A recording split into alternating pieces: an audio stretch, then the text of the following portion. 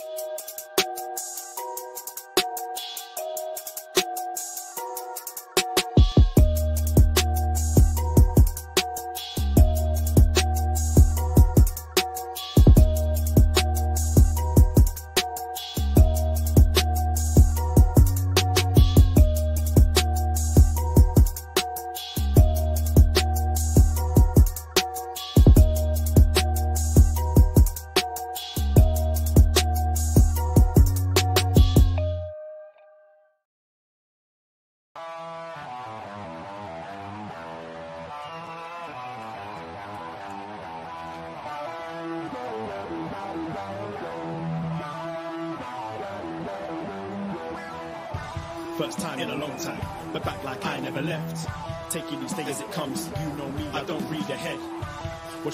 Me everything, BDE on the TV set.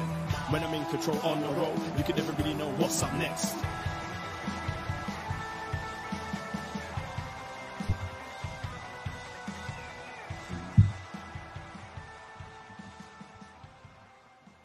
Hello. Hello, hello, hello. Braden Herrington here with Davie Portman for Up Next. You found us at postwrestling.com or whatever podcast app you are using. And we are, Live on youtube.com slash at no slash post wrestling. Yeah. It's been a long week already. Yeah. uh, but we are not alone. We have a special guest with us, not only visiting Toronto, Ontario, Canada, but visiting the BDE. Here she is, Stephanie Chase. Hi Chase. everyone. I'm- Hello. I'm, sorry if I'm not going to look at the camera the whole time. We don't either, yeah. used We- we don't ever look at the camera. But hi everyone. Yes, I'm in Toronto and I'm in the BDE. I've been to the Post uh, office and I've been to the BDE. Yes, So, yes. All the sites. you're making the rounds here. Mhm, in in the city. So uh, we were watching NXT tonight, and I don't think you watch NXT regularly. So, no. but we forced you to watch NXT tonight, and Yeah. uh, there was some great tidbits from someone who's not watched the show uh, Yeah. often. But uh, we thought while you're visiting here in Toronto, why not do a little bit of a show with you? And I Mhm. think today was a good time because not only is it WrestleMania week, which everyone is super excited about and super hyped about. Maybe we could talk a little bit about some some Mania preview, Yeah. but then just oh, I don't know, out of the blue, everyone's favorite pal Phil just decided to stop by Ariel Helwani's the MMA Hour and had a whole long conversation. And Mhm. maybe you were like us and listened to the whole thing. Yeah, maybe I did. Yeah. Maybe the- we're gonna the chat about real it. Mania main event. Exactly. So uh, we got a lot to talk about. Yeah. So I think I think just right off the top, heads up, it's going to be quite a bit before we'll get into NXT this week. We've got a lot to preview. Uh, I will preview Stand and Deliver at the end of the show, but uh, before that, we can talk a bit of Raw. We can talk about um, yeah the the CM Punk interview and get a whole load of plugs out the way because uh, we got a lot to plug. Yeah, again, it's WrestleMania season, so it's the sorry, stand and Stand and deliver, deliver season, yeah. here. So uh, there's a lot going on. Yeah, we're actually going to be uh, hightailing out of here in in just a few wee hours. Meaning, Davie's got a flight to New York tomorrow to go on his way to get to Philly. Mhm. Uh, I'm going to leave sometime tomorrow evening, Thursday morning to get there by by driving. So uh, we're going to be on the move this week, but we will be still recording shows. So of course, follow us, Poisonrana, in your podcast app because we're going to be doing these road diaries. We just did one for Collision in London as well. So like follow us and and and tag along in our journeys, and of course the socials because we'll always be posting stuff. If you want to know what two shawarmas means, listen to the show. That's, oh, right. Yeah. Two shawarmas. That's right. Yes. You can only understand if you listen to that Yeah. show. Uh, but yeah, so lots of stuff going on and there's lots of stuff to plug. So throughout, we'll let you know what everything that we got going on because not only will we be in Philly, but our hearts will still be in this city because we have a sold out WrestleMania watch party. Steph's going to be there I will hanging be out. there. Yeah. You're excited for Yes. WrestleMania, so some come say hi to some of our friends who will who will be there. I think Sam Jackson's going to be there. Yeah. Uh, no, Jesse from the Six is going to be with us. So he won't Jesse will be with us. Uh, yeah, Sam Jackson will be there. Yeah. Super chill. Travis Sims will be there. So we have a, a like it's going to be beyond sold out for this event. yeah, nights. it's. Uh, I kind of finalized the guest list like minutes before NXT uh, today. Just had my last shift at work. Uh, we are full inside, um, but we do have uh, patio seating available. Uh, we do have heaters, but it can still get quite cold. So if you do want to come down, it's going to be a party. It's going to be a lot of fun. Uh, 309 King Street West at Gabby's. Um, just dress warm, you know, Yeah. layers. It's it's not it's not crazy cold anymore. Just wrap It's kinda cold. appropriately. it's Wear kind of layers, yeah. sit by the fire, enjoy WrestleMania night one and two. There's always a chance, you know, some people don't show up, whatever. If you want to risk it, come along. Uh, but we are sold out of online sales now, um, which is great. Like these things have been such a success, and we we want to keep on doing them. And And we got some great prizes as well. You picked up some awesome, uh, like replica Stone Cold vests. and like all I, sorts of I'm making a prediction with these prizes that end of night two we will see Stone Cold deliver one more stunner to the Rock. Oh, so, uh, Yeah. we're giving away a Austin vest, like a proper leather yeah. Stone Cold Steve Austin vest on night one and two. We've got the classic Rock Just Bring It shirt. Uh, we have a fiend mask. got a Fiend mask, Dragon Lee mask, Rey Mysterio mask. Yeah. Um, got a Larry the Dog shirt, um, who uh, uh, may or may not have signed an NDA. Uh, Yeah. We'll get into that. Um, and yeah, like loads of figures and stuff. So uh, lots of prizes to win uh, if you come along. Um, But the real show is that that's for Toronto. And shout out anyone who bought a ticket. Uh, we won't be there, but you know, party hard and take some photos for us because we we will be there in spirit. But if you're in Philly for WrestleMania and you want to say hello to the BDE, well, you can because WrestleMania Sunday we're hosting a meetup in Philly at Drinkers Pub. Hmm, I wonder what we're going to be doing there at Drinkers Pub in Philly uh, around 2.30ish p.m. Come hang out. It's free to join in. Just we're to grab some drinks. Everyone show up, party. A few people have already messaged from all over the world and the the feeling is incredible. So shout out all you people and I can't wait to see some some listeners out there. Yep. Uh, this pub is like away from kind of the commotion. Like all the bars are going to be just nutso uh, by the stadium. So, but we're starting early, so you've got plenty of time to uh, get to the stadium after the event.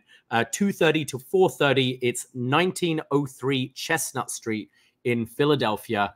Um, I've decided when, when booking these places, I just like picking places that does what it says on the tin. Last year it was pasta lovers. This Mhm. time it's drinkers pub. Right. Uh, who knows what's it what it's going to be shirt. in Minneapolis? We need shirts. Dickie, Jordan. Dickie, Jordan we need drinkers pub shirts Drinkers ordered pub to the. Airbnb by Thursday. yeah, chop-tees.com. It's coming soon. Uh, yeah, so we got a lot of things going on, uh, whether it's here, whether it's in Philly, and it's it's super exciting. And on top of that, we'll be at all sorts of different events. Uh, We have a giant crew. People will be at different shows. I know John and Way are going to the Hitchcock show. We're going to uh, the, the ECW tribute show. We're going to be all over the place, scattered. So yeah. I know. I know. John and Way with like Sino and WH and and others are doing like little little diary entries for all the different shows they're going to. Uh, we started doing this as well, just like immediate thoughts, uh, just recording right away. Uh, obviously, not going live, but uh, we'll be putting up multiple Yeah. things throughout the day. Uh, on Sunday morning, uh, time to be confirmed, we'll be releasing our uh, NXT Stand and Deliver show. We figured, look, who's going to have time to listen to Stand and Deliver post show between yeah, Stand and Deliver and WrestleMania? And we kind of want to enjoy our day Yes. as well. And it's already crazy enough doing two shows in a day. So we'll be giving our NXT thoughts and stat and uh, WrestleMania Night One thoughts on Sunday morning. yes, stand and deliver at 12 noon on Saturday. And I- Shades on the whole show. I absolutely will not be going. Braden, wake up! We gotta we gotta record. we got to see Shawn Spears. Okay, fuck. Let me let me smoke a joint first. Okay, that's need a- absolutely We're not gonna need gonna a happen. few for Yeah. for 12 o'clock noon on Saturday. But yeah, uh, we're we're really excited. So again, follow uh, all the socials and, and stuff. But uh, the real main event of WrestleMania this year, CM Punk. Yeah. Stephanie, Steph, what Yeah. are your thoughts on Jack Perry? I don't even have an issue with Jack Perry. You know, like Yeah. I don't I don't even have an issue with Jack Perry. But no, that was the best interview ever. And I'm usually really down on Ariel. He actually did a good job there. He actually did do a good job there. Yeah, Um, but no, I thought it was incredible. I never thought I'd hear Punk talk about this stuff. So when he just started going, and it was like two hours long, um, it was very interesting to hear like his words, his perspective on everything that happened because it's not just that he hasn't talked about this shit, like no one has. Mm. Except Whoo Kid, yeah, DJ Whoo Kid. Oh, yeah, that was it. him, that yeah. was the. Yeah, so it was was- so weird I- finally and- hearing it. and yeah. he wasn't the best witness, but he was the most knowledgeable witness. Um, but yeah, I thought it was uh, amazing. There's like so much to like unpack. it's like where do you so start much. i will say like as you said I, I thought ariel did a great job and what i liked is uh how you know as soon as punk gave like a tiny bit of something he'd Mhm. jump on that say Yeah. whether it be the the vince thing like oh yeah i saw vince he hugged at the gym we said we'd see each other again and oh well what happened a lot of things came up ariel well let's talk about that you know i yeah. thought i thought it flowed as an interview really really well i did not see the runtime before I started. I watched Raw on a delay last night, finished at about 12:30, and was like, yeah, I'll watch this interview before. It's now two o'clock, and I'm looking, fuck, how long is left of this thing? Uh, but it was definitely one of those things. I didn't want to just listen to sound bites or just read quotes on Twitter. I had to kind of sit down and and watch the whole thing. the And context. love him or hate him, CM Punk, Phil Love Brooks him. is just fascinating and continues to be fascinating. He's such a compelling speaker. Um, such He's a compelling character, a compelling Yeah. person, right? Like that's why there's so much interest behind these. And I just think back to like the biggest wrestling podcast ever was the Yeah. Colt Cabana CM Punk Yeah. podcast. It was so big that it was brought up in that Master of None Netflix show on a sitcom. I was like, wait, sorry, did, did they just reference a CM Punk podcast? Like that was the biggest thing. And I feel already that this is like the the next big one. And it's it's weird because you thought we'd hear like the stories of him like oh i'd never come back to wrestling but instead he's got all this stuff that he has not talked about ever that Mm. so many people have not talked about like uh I, I have just jotted notes of in order of some stuff let's, that he let's mentioned do it. All right. so like he mentioned nick khan basically being the one to bring him back into wrestling into wwe yeah, and the the mention of while on nick khan that there was somewhat of an open door like Pre backstage. yeah, yeah. yeah, like and that made did make me wonder like what was that about what would like i'm trying to think what even would have been going on at that time It's quite the revelation how close he is with Nick Khan. Um, them having the same agent and him being in talks with Nick Khan long before the AEW stuff.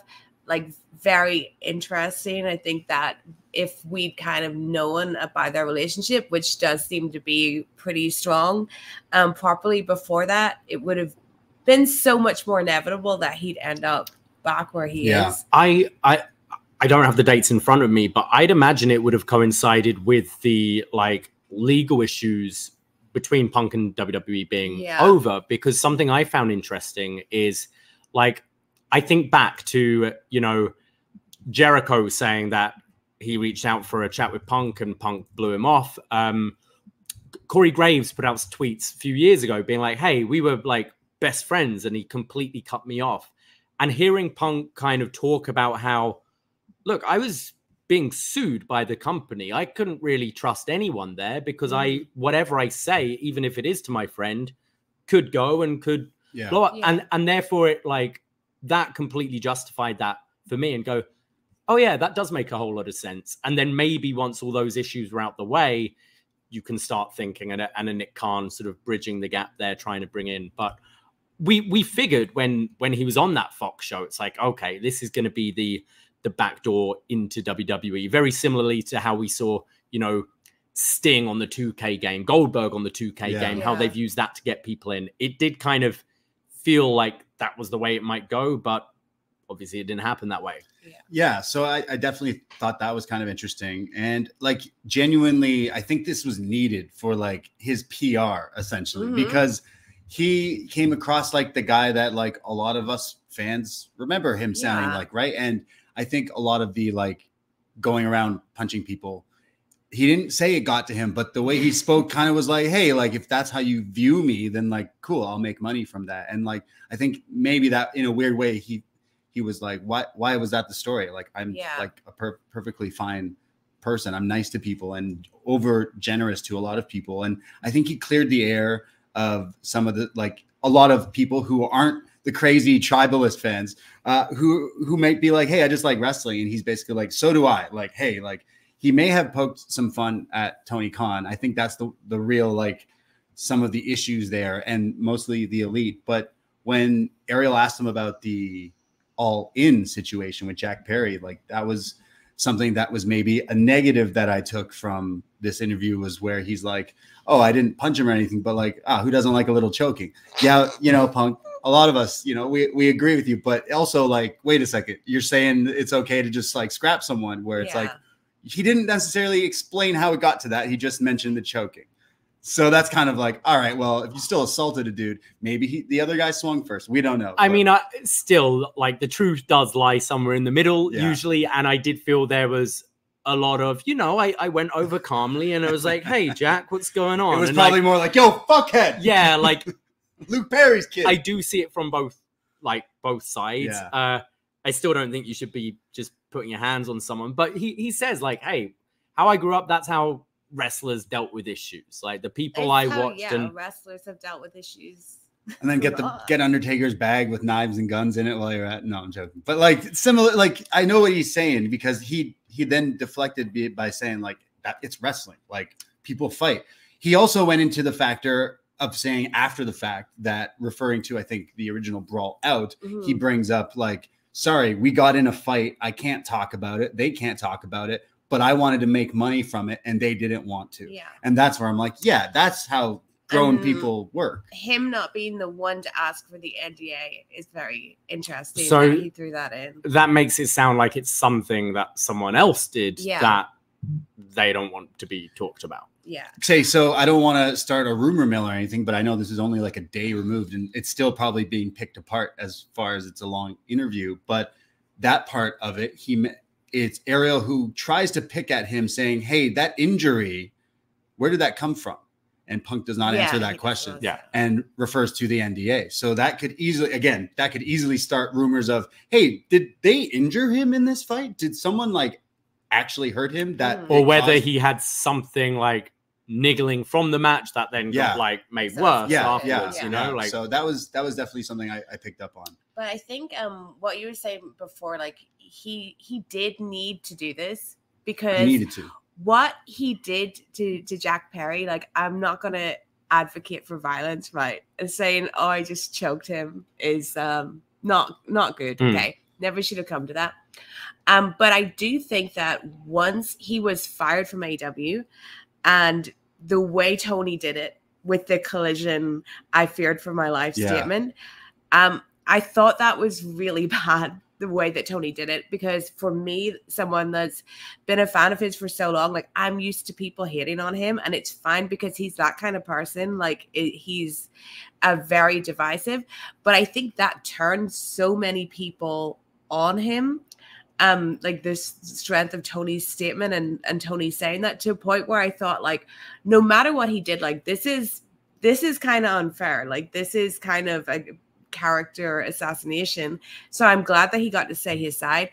And obviously his side is like skewed from like his perspective. There's still got to be more stuff that we don't know. Like you're right, it's somewhere in the middle. Mm. It's definitely not that like Punk is this gracious guy that was like trying to diffuse things and then just you know sure, put a little yeah. chokehold on. But I think at least he got to say something because I think the way he was painted going out of AEW was bad to the point where people I know a lot of people were saying, "Oh, if he turns up at Survivor Series, people will will boo him." And like Twitter isn't real life, of course, but there was a the most anti-punk sentiment that I'd seen um, was there. And you know, I don't advocate for fighting. He shouldn't have gotten a fight backstage, but he's definitely not the only wrestler to not the only wrestler yeah, in the AEW locker room to do it, or in WWE or anywhere. The the thing I there's a couple of things that I just find a little like strange, mm-hmm. and that is so much of punk leaving originally was, you know, wanted that culture to be changed. Yeah. You know, the idea of maybe fighting backstage and sorting yeah. out amongst the boys, wrestlers court. He's yeah. he's constantly like said how fucking ridiculous wrestlers court is. And then in this case, it's kind of, I don't know, it sounds like he'd be more of a fan of that kind of thing, mm-hmm. you know? And there's a few things like that. When going to what uh like you know AEW isn't a business it's just yeah. a place to put on good matches or whatever and you go well you like that's what AEW you wanted an alternate an alternative, and that's what AEW is. If AEW was doing, you know, oh, we grab a hold as Raw rolls on, on mm. as Dynamite moves on, it's just doing what WWE's doing, and that's where I found there were a few things where it's I understand. Um, like I, I absolutely think there was pettiness, and I think Tony Khan needed to nip stuff in the bud like right away Oh, we can get. but there's there's certainly stuff AEW was built on, you know, the young bucks who have made a whole career on quote unquote killing the business in being told by people, hey, you shouldn't be spamming all these super kicks and Yeah. doing all these flips. Okay, but it's I'm selling more merchandise than anyone ever has on the indies. And that rolled over to AEW, and that is the style and the product they're presenting. So if then a CM Punk is coming in and going against that and essentially trying to make a, a WWE product, it's it's not what that is about. And it kind of goes against why he some of the reasons that he left in the first place. So that was something I was trying to like get my head around a bit because I no, no, no, good. So I like I totally agree with you. I think Punk's problem, and I don't know if if he's actually learned this lesson from this situation. He probably hasn't because he's so stubborn. Um, is he what like wants things his way? So like I've always said, and um, and like I've had people agree with me on this when they've thought about it that like Punk's biggest problem with AW was that he did not get there at the beginning that he he wasn't Jericho, he wasn't Cody. Um, so like when he got in there, he was like working from that perspective. Whereas like we all know if we really think about the history of AW, that it was basically created for Punk, but he didn't want a part of it until it was proven successful. So then I think when he got there, he felt out of place because these other guys had laid the groundwork and they built co- the company. And I think that maybe like yeah he did want all that stuff that you were saying like not being like wwe more like looseness wrestlers in charge and he got it and was like oh no like this this actually isn't for me Yeah, Like, actually, let me sell that." out. Yeah. he's like a guy that's I mean- like i want an open relationship he gets one and then he's like actually i'm going back to the wife because i can't handle this like i need the rules or seeing yeah, seeing the attendances drop and be like, yeah hmm, maybe WWE's been successful for a reason. And I Yeah. like at this point, I am chasing, as he said, like, you know, to start with, it was, hey, can I feed myself, have a roof over my head, Mhm. and do that through wrestling? And that's how you measure success. Cool, I've Yeah. done that. Now can I be the top guy in the indies where I'm living very comfortably? I've done that. I've then moved to WWE. Cool. I'm now very secure. Right. Now I want the next goal, WrestleMania and then it's it keeps going bigger. And maybe when he saw that like this alternative yeah. isn't going to ever be to the level that WWE is I'm I'm going to chase a different goal. Totally thought like um that he'd be okay with like the size of of AEW and whatever, but he never actually saw AEW as as anything when he got there. Like he saw himself as bigger than it, and like Mm. that's why he wouldn't sign in the first place because he didn't know what it was going to be. And then when he does brawl out and he has a fight with Hangman Page, he's like, this guy that's never done anything. And it's like, okay, this this is like an AEW chat. Like this is the, like a guy that this company was built on the back of. But like to you, he's never done anything because he's not been in WWE Yeah. like you. And um, I think like he really showed himself at that moment what he thought of the Yeah. I see. Mm. You, you, you listening to the whole thing. He came across like again like an actual nice guy, but Mhm. there is like some arguments and more things that you would want to pick at in some of the things he said. He's coming across more like classic wrestler. I'm not Yeah. comparing him to Hulk Hogan or The Rock, but he's compare he's he's slowly like yeah, we're seeing things in his perspective. So Mhm. in certain ways, like I do agree with a lot of the things he said, uh, referring to Tony Khan and maybe Yeah. like Tony Khan needs someone to be like the boss and not just him. There is Yeah. kind of what it gets at. Like he gave his case of like why he did what he did and why he wanted out of there. But on the the flip side of it, as much as I think like I came across like, oh man, I, I still love this guy. He's great. But the other side of the coin is like there are so many times listening, like you you you're, you're telling me like you just care about the money. Like you just Mhm. care about the money. You're coming across this way and you are contradicting yourself because what you guys just said. Like I think back, there's so many internet people who've scoured years of content and look back at the Bucks and Bullet Club. They they said they were trying to get him for fucking ever. They said they would text Yeah. him all the time, like come back, come. The original All In. exactly. being in So Chicago, like you right? you you imagine that was all there for him, and he still said no. And then when he finally came in, he's in this interview saying that the elite didn't want him there to begin with. So if that is true, like maybe there was a, a whole rift from the get go, then they were just like destined to. Well, it's the the Cabana stuff happened between the first All In and Punk joining, right? right. Yeah, they yeah. I think the the elite did want him in from the beginning. I think it was more Cody leading it though. But yeah, he was he was never gonna sign on to that. But like the the C and CM Punk stands for capitalist. And like he has always been that way. If you actually look at the old documentaries of him, like the, his WWE one, and before that, for a, a guy that like promotes the other stuff that he does, he is always talking about making money, like even before people were calling him out on it. Yeah. So he has always had that mentality, and he didn't see the money in all in.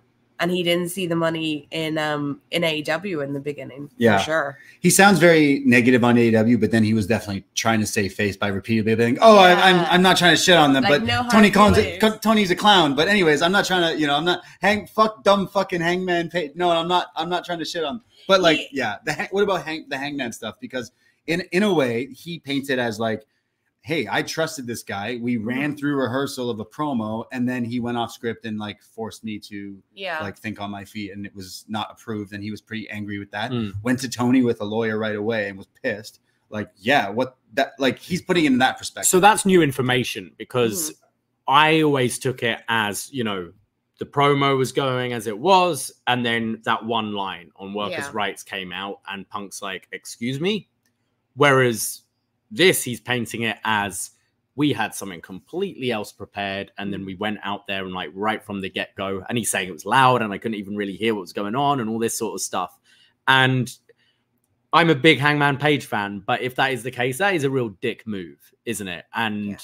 and it could because you could like Punk is is very good and quick on his feet where it didn't completely derail the segment. Someone else, it could have just been cricket, like silence, like fuck, sorry, what did you say? What am I doing now? This is where it's going. So uh, I get his anger. I I do find the I, I always found the line of jeopardizing a million dollar gate weird because you know like if we know there's real animosity there that's going to sell tickets even more and Yeah. he, and he then goes on to say hey we could make money off of this yeah afterwards which so that is again a bit of a like contradiction yeah yeah okay but i understand like more so than just he dropped a workers rights line. Um see there, there's there's two things right? Like okay so to me if i go to work and someone chokes me out i'm probably going to be pretty upset. If i go to work and someone says something to me i don't like maybe in front of a lot of people Yeah. I'd still be upset, but like I don't know, like his it's it's either his way or the highway. It seems. He's like he's very hypocritical and like oh no no no I'm he says it me and the Rock we're allowed to swear and do whatever the fuck we want, Mm. but then it's not the other way around because it's like Hangman to him is nothing. He doesn't he didn't know who that guy was. and he gave hangman like six receipts from that Yeah. like Yeah. tv press conference like says like dark segments after the show like okay and apparently he had words with him after yeah being like i get it you're sticking up your friend but that was like I- He's in the wrong with Hangman for sure. yeah like he he totally he's totally going off and again like hangman did that because i we imagine he's friends with people who like all knew wanted to, to support other people Yeah. but yeah i don't know like there's there's definitely ways around it i am the biggest elite fan i, I love the bucks hangman kenny all those guys and like i i do think like if this guy was willing to make money Mhm. they would not be in this situation. They would be legit super hot right now. In another alternate universe right now, for there all was a his huge faults, competitor. vince would have booked Oh that my match God. and you But are fucking is doing why this the match problem right Is like actually Tony, Khan? Khan. Yeah. Tony's the problem, and I think that you know he was right to say that he brought this Tony. Tony didn't sort it out. I will never forget, and this is before like Brawl Out happened. This got like in my like burned into my mind. The day before that show, Tony going on Wrestling Observer and saying that the problems in the locker room were like a good thing. And then the next fucking day, this happens. And I remember I was on the streets of Chicago and I stopped in my tracks and was like, what is this man on that he's just said this? And then the next day, you get brawl out. Like the buck stops with Tony Khan. He could have sorted all of this and he didn't. And I think that all of AEW's problems in the past and the ones that are to come are from stuff that Tony Khan refuses to address. And I'm not saying he has to address stuff publicly, he doesn't address stuff backstage. And this is like the biggest example. And I think that punk, capitalist punk, um, as much as you know, he had a lot of stuff to say about Vince McMahon. Um, he's obviously an evil person, but he definitely saw like, okay, yes, Vince would have sorted this. Like Vince can like be the bad guy, like in that Yeah. way. Um, and Tony, like, yeah, it is. He is too nice, and he's very lucky. He's so fucking rich that he can keep doing every this. company every company needs the the bad guy Yeah. and it, and if the boss doesn't want to do it they hire it like jr Yeah. was that role for the longest time in Yeah. wwe he was the guy who had to fire people discipline people stuff like that you've you've got to have that role otherwise and if if tony is you know i am the boss that i want to keep everyone happy and be everyone's friend and whatever that's cool but he needs to have someone to Mhm. still get them to hammer that out because And so many other wasting jobs. money on another TV show just to try and keep this star. Yeah. Dumbest just idea ever. like yeah, terrible. like like we we could see the writing on the wall as that fans, was right? never Watching. work. Yeah, Never. but but towards the end of it, it seemed like something was off. It, he says, "I Mhm. wanted, I tried to quit so many times," and I he said, "No, no, no, stay, stay." And then finally, we get to the the issues with Jack Perry, where he he does the whole, "I want to."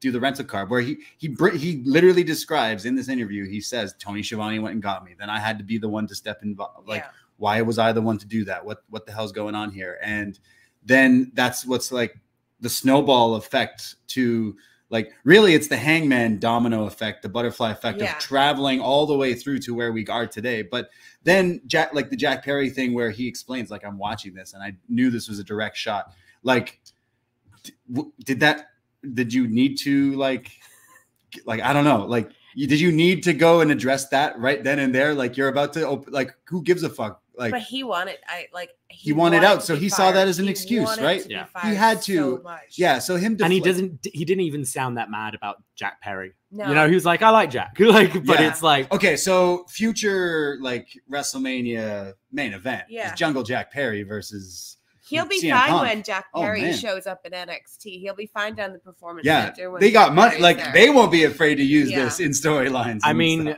uh, I think as well with with Perry, if you just look at his career, he was he was super over. You know, in in Mhm. Jurassic Express and the the feud with Christian when he when he finally defeated him, he was he was red hot, and then he turned heel, and that worked for a little bit, and then you had that that four pillars, like especially that segment Awful when feud. all of them had their promo, and he was super exposed. His promo was incredibly weak. And I feel it was from that point where I mean, I mean that was before he turned heel, Yeah, wasn't yeah. it? But I I felt it was from there when people really started to just turn on him as as fans. And this was pre any punk stuff coming out. And I could see as a performer, he's probably getting frustrated. Like I was like, I was one of the top guys in this company Yeah. and I was red hot. And then I'm in this title match, the biggest match of my career so far. And you know what the internet's like. They've all turned on him. And then, you know, he's friends with the elite and he's trying to stick up for those guys and stuff. And it, it seems immature. Like, I mean, he's young. Like, it seems like a just immature teenage almost thing Yeah. to do. And like, and it got out of control. And maybe he's trying to win brownie points with his his friends on Wednesdays or whatever. But uh like that, like and Punk almost in this interview kind of seemed to see that as well because he Yeah. he didn't go in as hard on Jack Perry as Yeah, he oh, went I just on choked him Tony. out a little. he went on Tony a He lot. went out on He's very- Tony and still honest. Hangman. Like, yeah and, and Hangman as well and He didn't go in on the elite or like Young Bucks. Like Like, gone. really, I never Yeah. felt there was any issue with Kenny to No. really begin with but bet- the only uh, thing I wanted him to say, like just for my own head canon, is like, "Oh, Kenny's lovely, and it was never Kenny. Yeah. Yeah, he didn't get that. But, you know, for me, But, yeah, you know, I was like, waiting for I that. Yeah, truly yeah. believe, like, yeah, it, yeah. it I'm believing that. Kenny. Yeah, I I, we're on the same page. Okay, Yeah. good. Yeah, I was like, you didn't say anything bad about him. And so- that's not like I I don't dislike the Bucks at all. I I don't dislike anyone in this story. Yeah, I I like Punk a lot and I like Hangman a lot, but I don't dislike anyone else. So it's funny that like literally my two favorite active wrestlers uh, like had Yeah. this beef. It's hilarious. it's crazy. But I really see something in Kenny where I just can't imagine Kenny being like Angry at actually. anyone? I mean, I'm just picturing the brawl and him, you know, saving Larry and He take which apparently Larry. he did. his And, switch. He's like, oh, yeah. yeah, Yeah. yeah, exactly. He didn't say anything bad about Kenny, and I was happy about that. I Mhm. think I think he really came off like genuine, but there he were looked great as well. Can I just say? yes, yes, really he's did. looking good uh, Mhm. I, with his uh, arm brace Oh, on, yeah. on his. as What an well. It's- accessory. yeah, it's really nice. I I think uh, he'll be doing a lot for this weekend. He mentioned he's on like the Mm. panels and like he made it kind of seem like he might be on commentary for like I mean, he seemed like he was like he was saying, "I'm ready." Essentially, Yeah. he's He like, he "Ah, wanted to work. I could do He wanted to work WrestleMania." and, and- he would break it again. he'll break like- it right away. I Yeah. I'm sorry. Like No. I I think uh I think it's not a far off thing to say that maybe a, he realized AEW wasn't the place and that if Shawn Michaels can run NXT now, then in another five years, maybe can they'll ask him. So I I could like totally. that's the way I got out of this. see that. I, I don't think he'll be re- like he sounds like he's still going to be wrestling as soon as he's in, he's healed. But like Just don't piss on his shoes, right? Like as long as no one pisses on his shoes, he'll be running NXT. Like I, I don't know. I know think what he will be like. No one would have ever predicted Shawn Michaels would.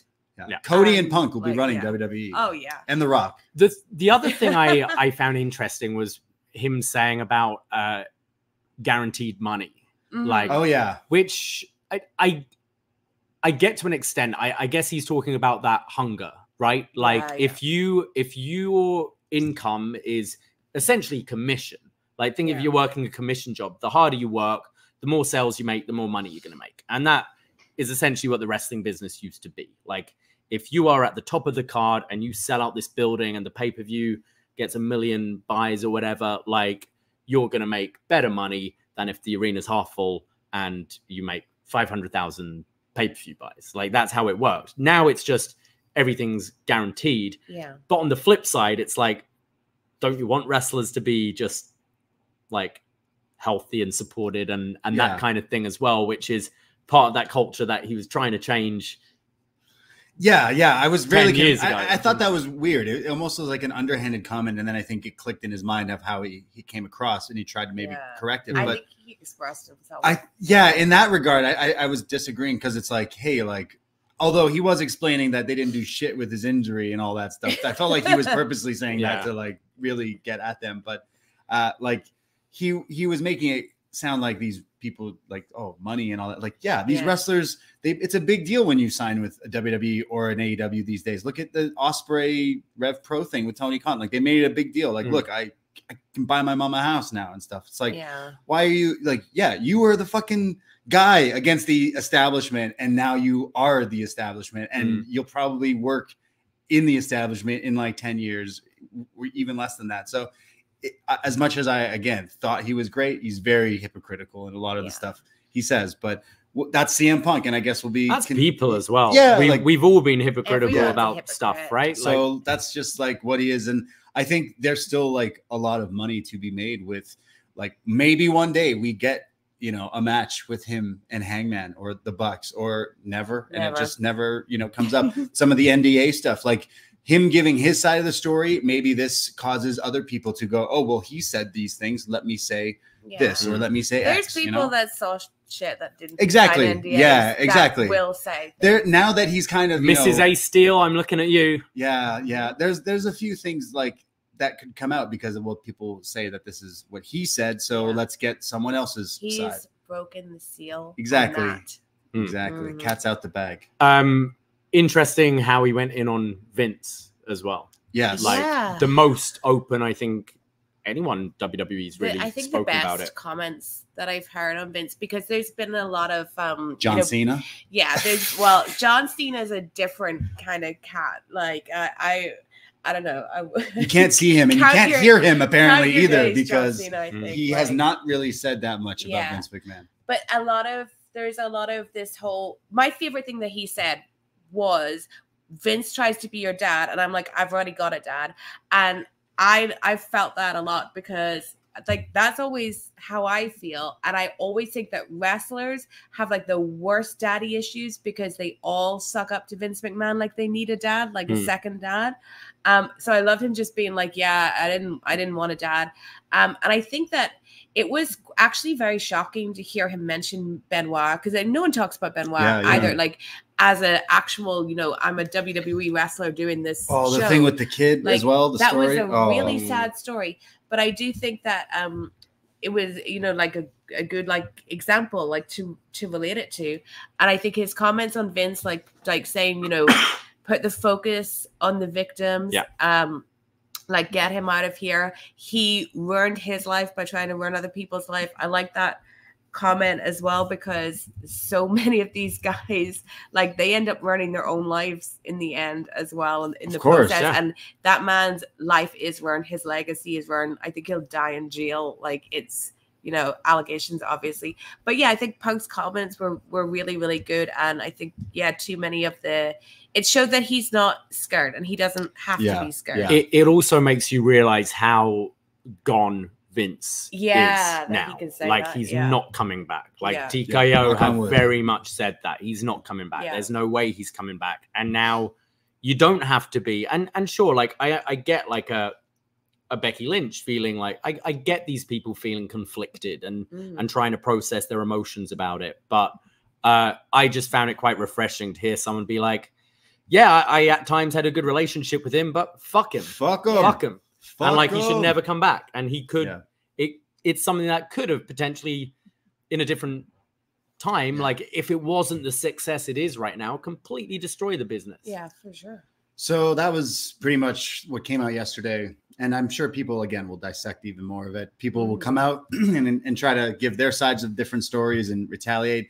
You already saw AEW wrestlers on social media pretty much being like, hey, like, that AEW was funny great. though because then we got firings for the first time Yeah, And then we got some fire. Yeah, sorry. Jared Joel is gone and the boys pour one out. There's a few there of first AEW firings, but yeah like that's if that's what it's got to be, then that's what it's got to be. Like, sure. sorry, it's just like that's just the business. But um, another another thing that came out of it was Meltzer. He mentioned you know the five star matches and The Meltzer, goof. Meltzer on his show, I think yesterday night was referencing like, well, I mean, such a goof. Then why were you asking me for all the help with like ratings, TV this and that, and blah, blah, blah. So, I mean, I I do think Punk wasn't necessarily innocent in his AEW run of not talking to certain people and Mm.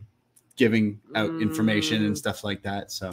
Uh, I don't know, but also Dave still thinks it's The Rock versus Triple H at WrestleMania. So uh, I did. Uh, I mean, it, it's it's just timing or whatever. But the fact that you know someone comes out very publicly, like your main star, and goes, "They ain't running a business there," and it's like, all right, let's let's do some business moves and yeah, release I know. Dasha. it's and the CEO's first move. but I, I did find the the releases in itself, like the fact that they the company started and they were like, "Hey, we're not going to do that. We're Yeah. we're going to honor contracts." And realistically, what are you saving by getting rid of Slim J? Who? You know, yeah like when you got a Yeah. Miro sat at home doing fuck all. Like it's it was a strange crop of people that the, the only one that really means anything well that sounds mean but is dasha like dasha is see doing a lot yeah, of work yeah. she's bilingual um she does like multiple jobs um Been there seems day one. yes uh, and seems like someone that's like an actual asset Mm. to the company and i thought that was that was a very odd release i remember her um when she signed with AEW when the pandemic started, she did a very good Talk Is Jericho where she talked about like all her other interests and stuff. She seems like a really cool, intelligent woman. So that one to me was really strange because what is Justin Roberts gonna just announce everything? Or they, they have Cruise, they Yeah, or- Bobby just brought Cruise, in yeah. a they just brought in a new female announcer as well, I believe. Oh, okay. Like a I week thought she ago was an something. interviewer. I didn't think she was Oh, an maybe announcer. I'm not sure. But it's still just like with her, uh, especially speaking two languages and stuff. Mm. and It's just like that's an odd one. I mean, a whereas lo- Slim J, I yeah, see. like a lot of these people, they're not really been used lately. So I guess Yeah. that's their reasoning, right? So you can't really be like upset. They'll, Imagine they'll if work. he actually had a vision for Ring of Honor Um, and, and Yeah. instead of like because it feels like he picked up all those like like he had no idea what to do with Ring of Honor, He and he still doesn't, still other no- than just no. keep it going. Um, yeah, but the firing's odd. He I- should let Miro go. Yeah, th- I mean, I, I think that's the thing. I think he's holding on to these talents that are clearly hoping to just jump right to WWE as soon as they're gone, and he doesn't. Wait he doesn't sec- want that. Jose ripped Jose's Yeah, gone? Jack Ho- Oh, Jose's Jack gone. Jose. but yet Alex Abrahantes stays. Yeah, Oh my god. But- okay, wait. Justice needs to be served. but it, Yeah. it is like when What? when it was something that were like, hey, we are going to honor these contracts, and you're releasing a Anthony Henry who is Yeah. just suffered an injury and that kind of thing. It's I I get right. cuts and things and whatever, but I don't know how much money they're saving by That's getting rid of these guys. Whereas say a Miro, a Malachi Black, a Mhm. all these other people that just sit out half the year, Matt more than Hardy half. gets offered a new contract. Yeah. Man What do you mean he's showing up at Mania? A says. living. He steals a living. But um, you're right. But th- this is why you should never make these declarations of where, like, you can say, "I want to make the business better. I want to change things." Mm. He's uh, not just Tony, but like the company has let down um, like women and minorities from their original like mission statements.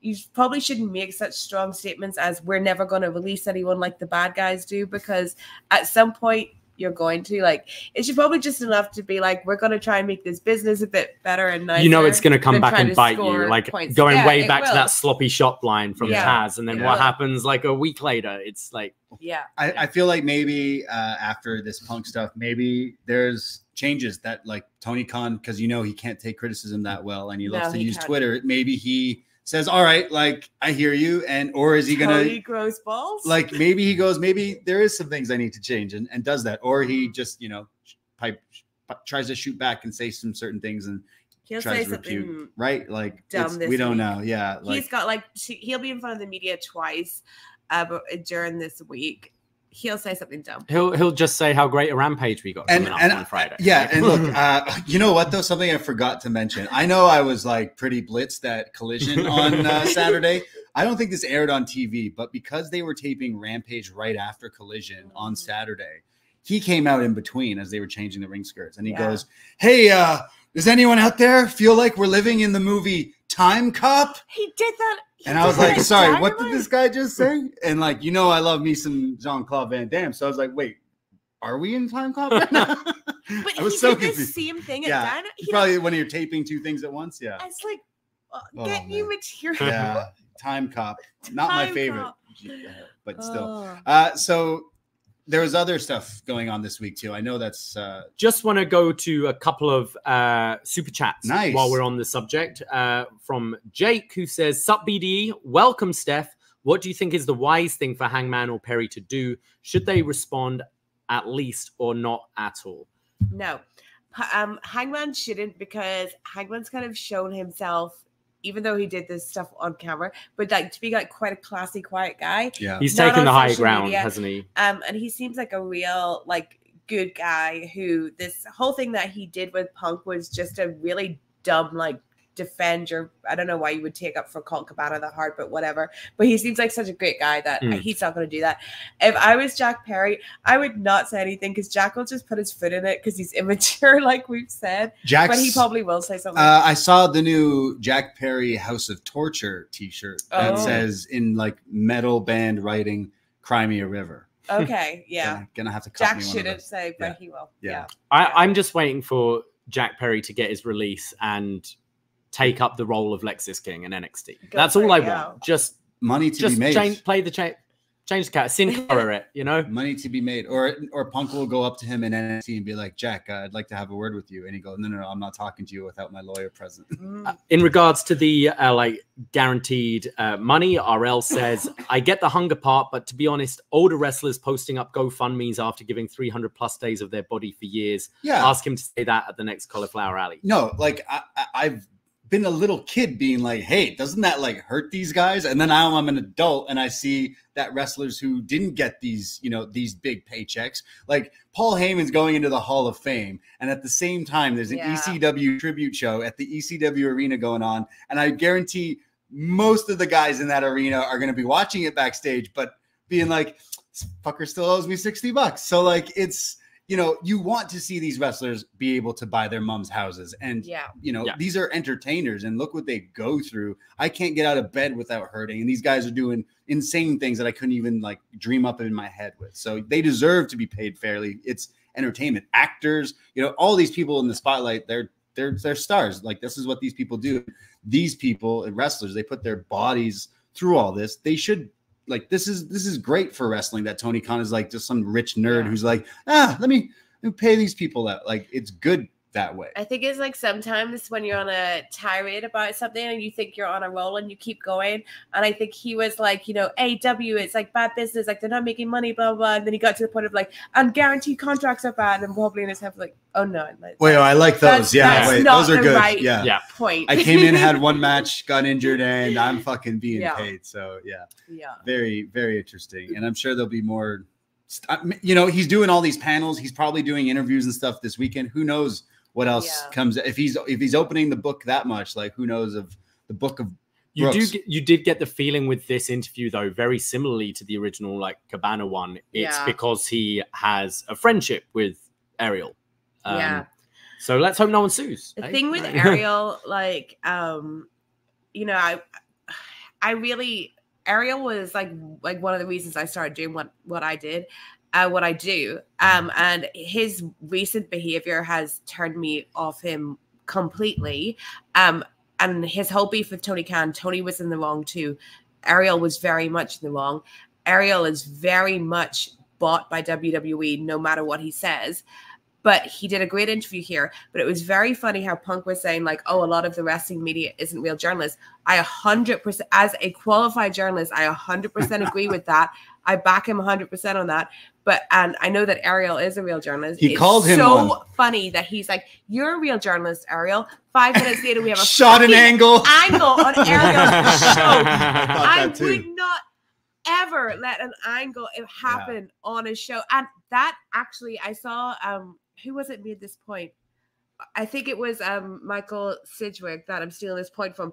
That was all the wrong way round. That Becky Rhea stuff Right. should have been on like before the punk stuff because we went from like the most serious and to like this absolute like kids bullshit. Yeah, happening. with like what, like six huge dudes who can't Yeah. pull across to Yeah, much Becky, I smaller mean, women. come on. Yeah, it was a But little hokey. so funny. It's like, yeah, Real Ariel, journalism. You're the only real journalist. I thought it was Like, a great interview, but that on, did that chuckled me a lot. Yeah, Oh, that, yeah, that did get my. Real, like, yeah, Yeah. real journalists don't do shit that Ariel does sometimes. Uh, shout out real journalists like yourself, Steph, but shout out John Pollock because if you're not following post wrestling this week, you absolutely should. I know there is a big episode of Pollock and Thurston. Yeah, they week. have uh, Ann Callis on Yes, Janelle Exactly. So uh, please check out post wrestling and all the feeds. I think Pollock going- is the realest journalist. the goat. He's the he's the man. The and when. I said that, um, I'm not like I was started doing this because of Ariel. It was because of Ariel's interview with with John Pollock, where they talked about how they got into it and how they started. So John is uh, the absolute Absolutely. realist. And I know he's blushing if he's listening to this somehow, sometime, some way. I know he's got a busy week. Uh, we have busy time. I know we've spent so much time already with you, Steph, but it is WrestleMania week. Let's, Yeah. let's talk about some more positive stuff. Okay. Are you hyped about WrestleMania? Yeah, I am. I'm really excited for this year's WrestleMania. It's probably the most I've been since like the Daniel Bryan one. Okay. Ten years Uh, ago. Yeah, me Yeah. too. I, I said that earlier. I'm like, it's been like, 10 this years. This shit has been so good with The Rock. Uh, there was obviously like teething problems when he came in, and they like sorted it all out. But and there's you know holes and problems within the storyline. But like the past couple weeks, especially, like The Rock has brought it on Raw. He's left me feeling like a kid going, what's going to happen next week?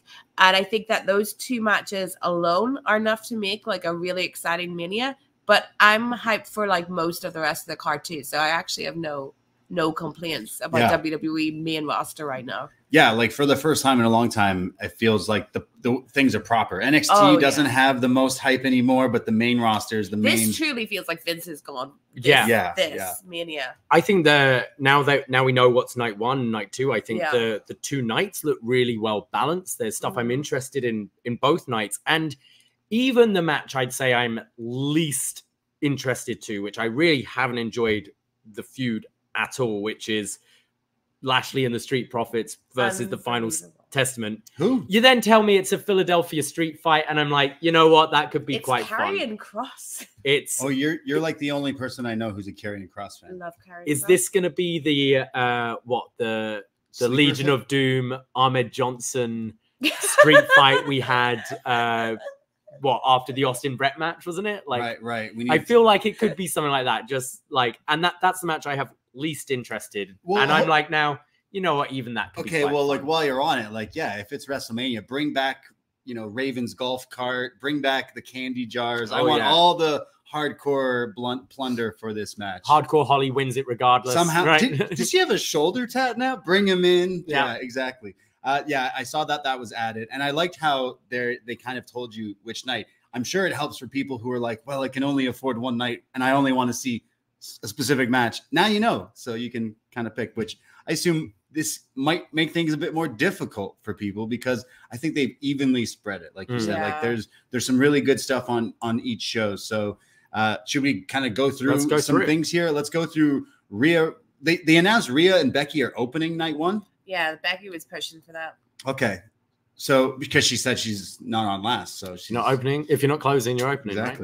Rhea Ripley putting her title on the line against Becky, which uh, I've been liking this. I mean, Rhea Ripley, huge star. Becky, huge star. Been loving some of the stuff they did, especially it was last week where they had a bit of a promo battle. But I think Becky should should beat Rhea for this long reign that she's had. Yeah, I I think so too. I, I think this isn't the first match we're gonna see between them. I don't actually necessarily want to see them like doing rematch after rematch right after. I think it's a big enough match you could spread out again. And Rhea's had this incredible sort of like first couple of years on the main roster and this just rise that it's maybe more interesting for Rhea to taste a bit of a, a defeat and have Becky still while she's at the top of the game be the champ again and have that run. Uh, we've not seen Becky as a champion as a babyface since like pre-pandemic now, so it has been quite a while. Um, but yeah, I I'd go for that, and then I think you could build for a Rhea Bianca thing for like next year's Mania or Sure, something. yeah. But yeah, I'm leaning more for Becky for this. I'm leaning on Rhea. Yeah, Rhea, um, mama. yeah. I I think the fans are going to reject Becky winning, and that's going to be awkward. Um, but yeah, I think Rhea's been so strong. I haven't really enjoyed the build of this feud very much. It's a match I'm very much excited for, Yeah. um, because I like Rhea so much and Becky. But I think the feud's not been that well built. Becky's, especially the recent like.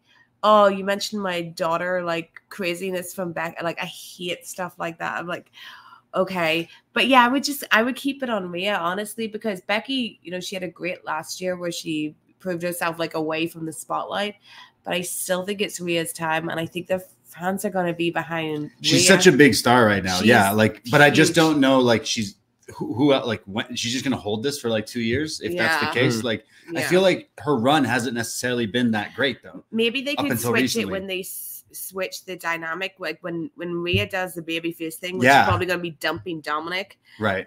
get becky into heel Yeah, and then that would be- like yeah, switch yeah. it at like a SummerSlam or It's kind of been that way for for, Rhea before, where it's like, oh wait, she's supposed to be people the- want to cheer. Yeah, it's for like she's- she's- against Charlotte last Yeah. year. She Oh, was yeah. But but either way, the match would be great. Yeah, I, for really sure. I do think that.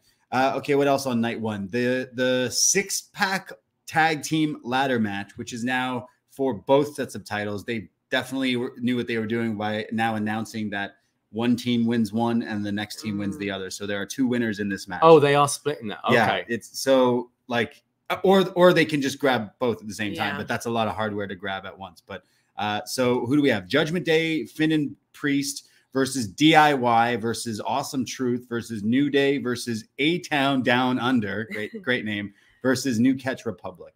And do you think Big E comes out and throws another team in there as well? Fuck it, the Dudley Boyz are entering the like the Oh, like the other the Hardys thing. No, I don't think any more teams can be added in this already stacked match, which I'm sure will have some crazy spots in it. I think this is the time to take it off Judgment Day. It's it's an easy way with it being a ladder match. Um, I think we are starting to see kind of the the crumbling of the Judgment Day. You mentioned Rhea potentially dumping Dom. Um, we Damian Priest still has that briefcase, so we need to maybe start focusing on him as a singles guy and as a babyface. Maybe I He's think. like kayfabe wise, he has had so many opportunities to be champion. Yeah. And like know, it's Seth has been stupid. like messed up every week. And Yeah. it's like, oh, wait. So I would see uh, Awesome Truth taking one set of belts. Okay. Uh, just Yeah. you know, feel yeah. good, fun. They don't have to hold it long. Um, as the other team, like maybe like, do you go with maybe D- like the the fan in me wants to see DIY win it. You I love DIY, but, but, I like, don't know if they've been really built enough for that to be justified. So I see it more likely being a heel team, in which case it would be unfortunately Theory and Waller. Yeah, I If you you know, if you're having two winners, I love I love DIY. I love me some Johnny. I love me some Ciampa. NXT for life. But I feel like they're gonna come out to like crickets at this stadium. I feel like they've not been really clicking on this main roster run, and I, I'm really happy that they're finally in a WrestleMania because that's always something. Uh, there's a few names on this pay per view both nights that finally certain people are on Mania, and again, as some, I'm like always great to finally see them make it because that is a lot of you know these guys and girls' dreams to to make it there, but. Uh, I don't see DIY winning, and I'm shockingly would pick the heels because it's just more like interesting that way. I am disappointed we don't have the Creeds and LWO in this. I think that Yeah, would make it yeah. a bit more of a fun match. It'll be very But- chaotic. So you're you're picking Waller and Theory as I, well. I guess that sounds wild. Fuck, fuck it, New Day. Like give them something to do. I don't even. I don't know. Yeah. Uh, Steph, Oh God, I honestly couldn't care less Yeah. about this. Right. Like the tag team this division's is not wh- great. how I feel about the match that you couldn't care about. Yeah, I, ca- Yeah. I couldn't care less. Anyone but Tyler Bate. Um, anyone but Tyler Bate. there you go. She also picks uh, Austin Theory and Grayson Waller. right? There you go. Clean sweep.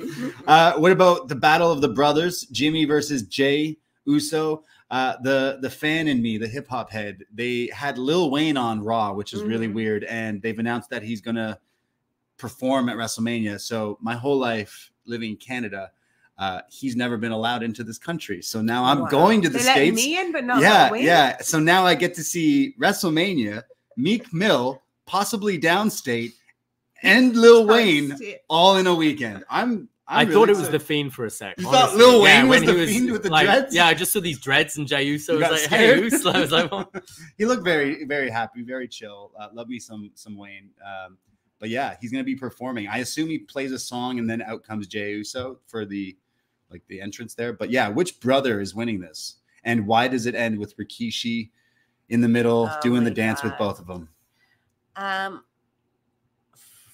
I think Jimmy wins.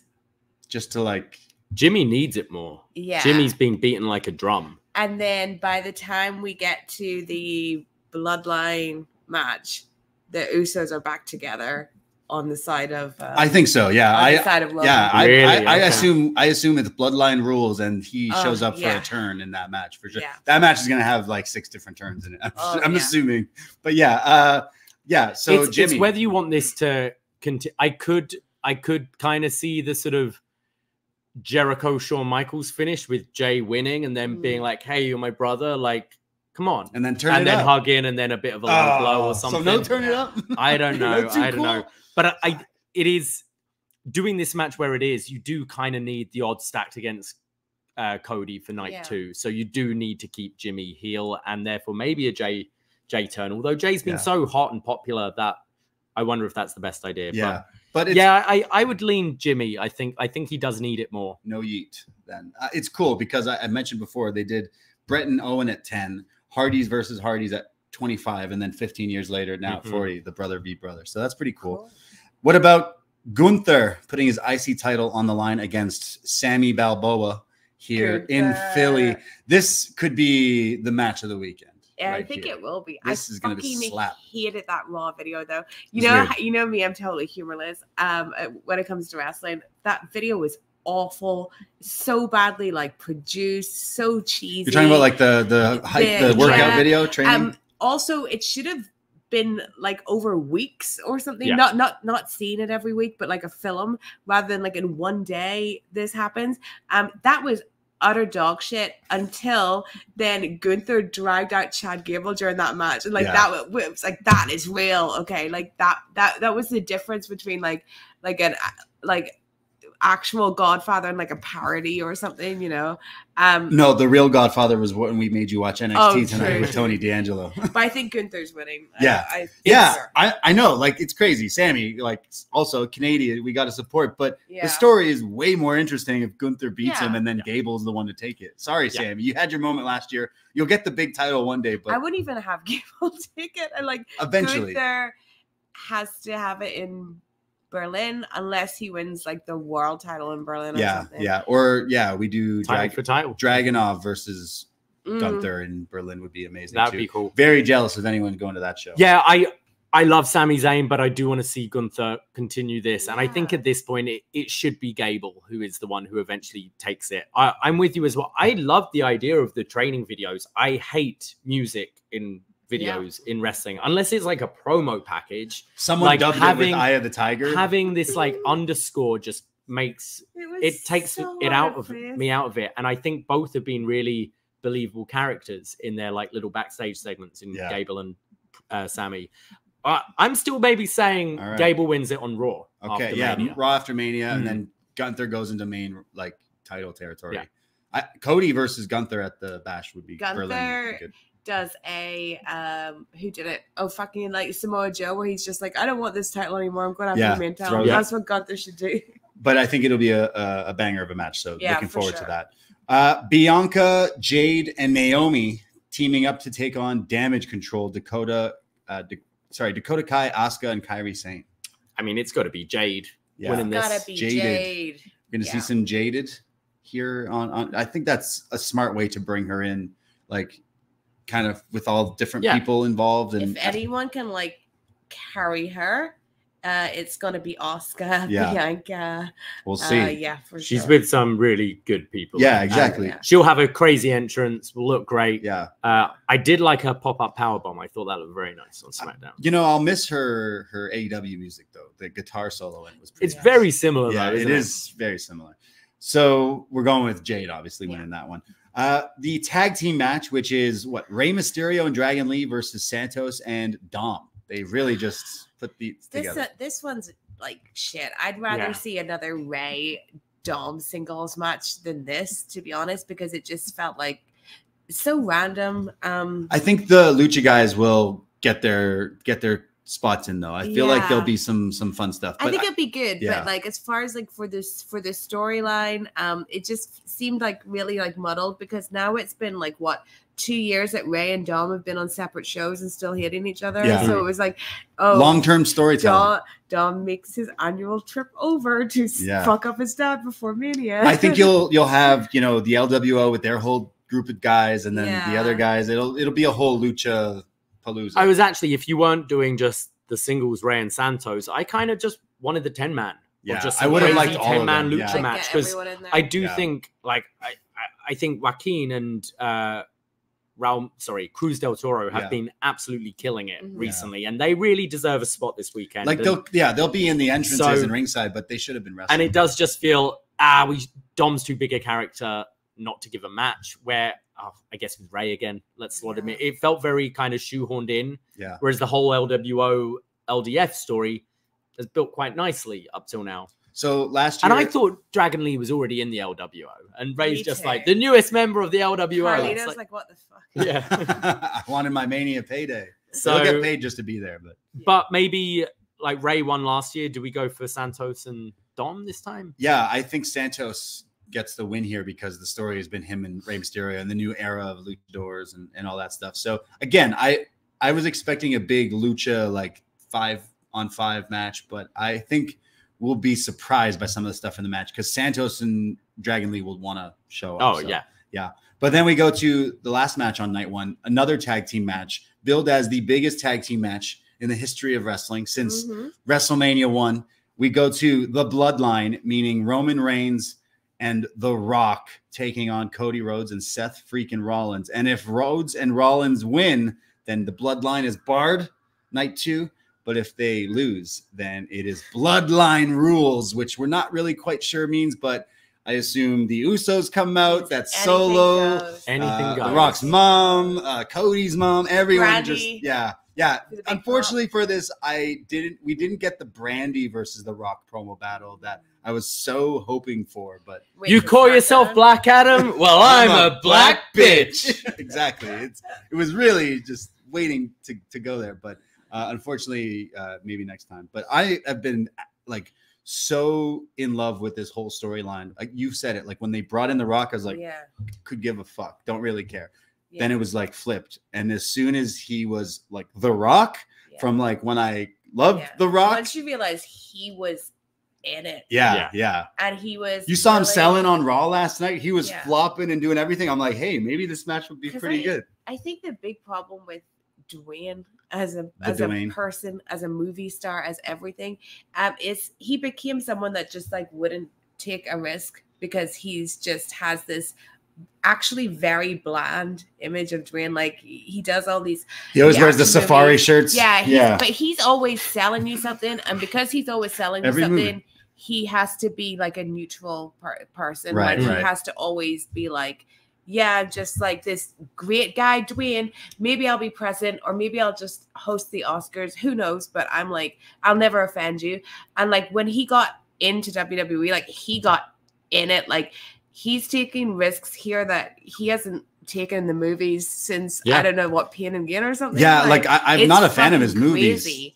Um, that so him being in it has I think pulled all of us in it because yeah, originally when he turned up, it's like what you're on the board and now you're gonna take Cody's WrestleMania. What like what the fuck? And then once this storyline developed and how he's been just acting every week and like he's doing the Instagram promos and you can see now that he doesn't care what the outside thinks. And I think that's what makes it so great. Like that everyone that knows him. He's not worried star- about people laughing worried. because it's wrestling Yeah. anymore. He's already made. or like not getting it Yeah. or whatever. He's just been he's been great. You, you've said it like he went from neutral to then go smoke some more crack, which He's, is like, one of the greatest lines I've ever heard He's in wrestling. videos of little girls crying on TV Yeah, and yeah. being like, Great. I caused that. Like the Dwayne Johnson that wants you to think of him as like a future president, and then he also wants you to buy his tequila or whatever it is.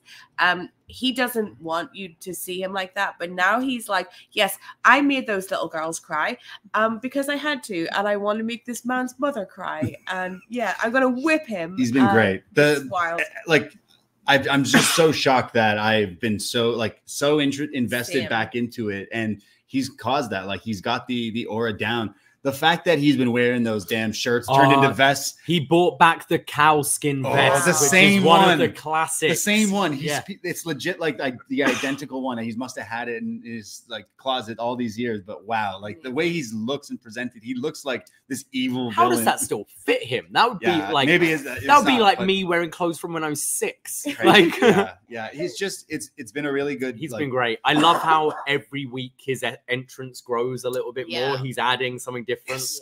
Like the Mania ma- uh, entrance is going to be. Yeah, great. who knows what this mania entrance is? Again, he's flying in on a helicopter or a jet or something for for this one. But been loving this one. But how does it how does it play out here? Like clearly, It's the, got to be Rock pins Cody, Yeah. I think, because you need all the odds stacked against Cody for night two. exactly. Uh, if The Rock is down for more matches, which it seems like maybe he is, having that winner get over potentially the new champion, it gives that match down the line. It gives something else for Cody to like strive for at a later pay per view. So I, I think as much as I was Seth Pin's Rock, I think the Well, way you've changed now. Yeah, this guy was the only guy on the planet Earth saying Seth was going to pin the Rock.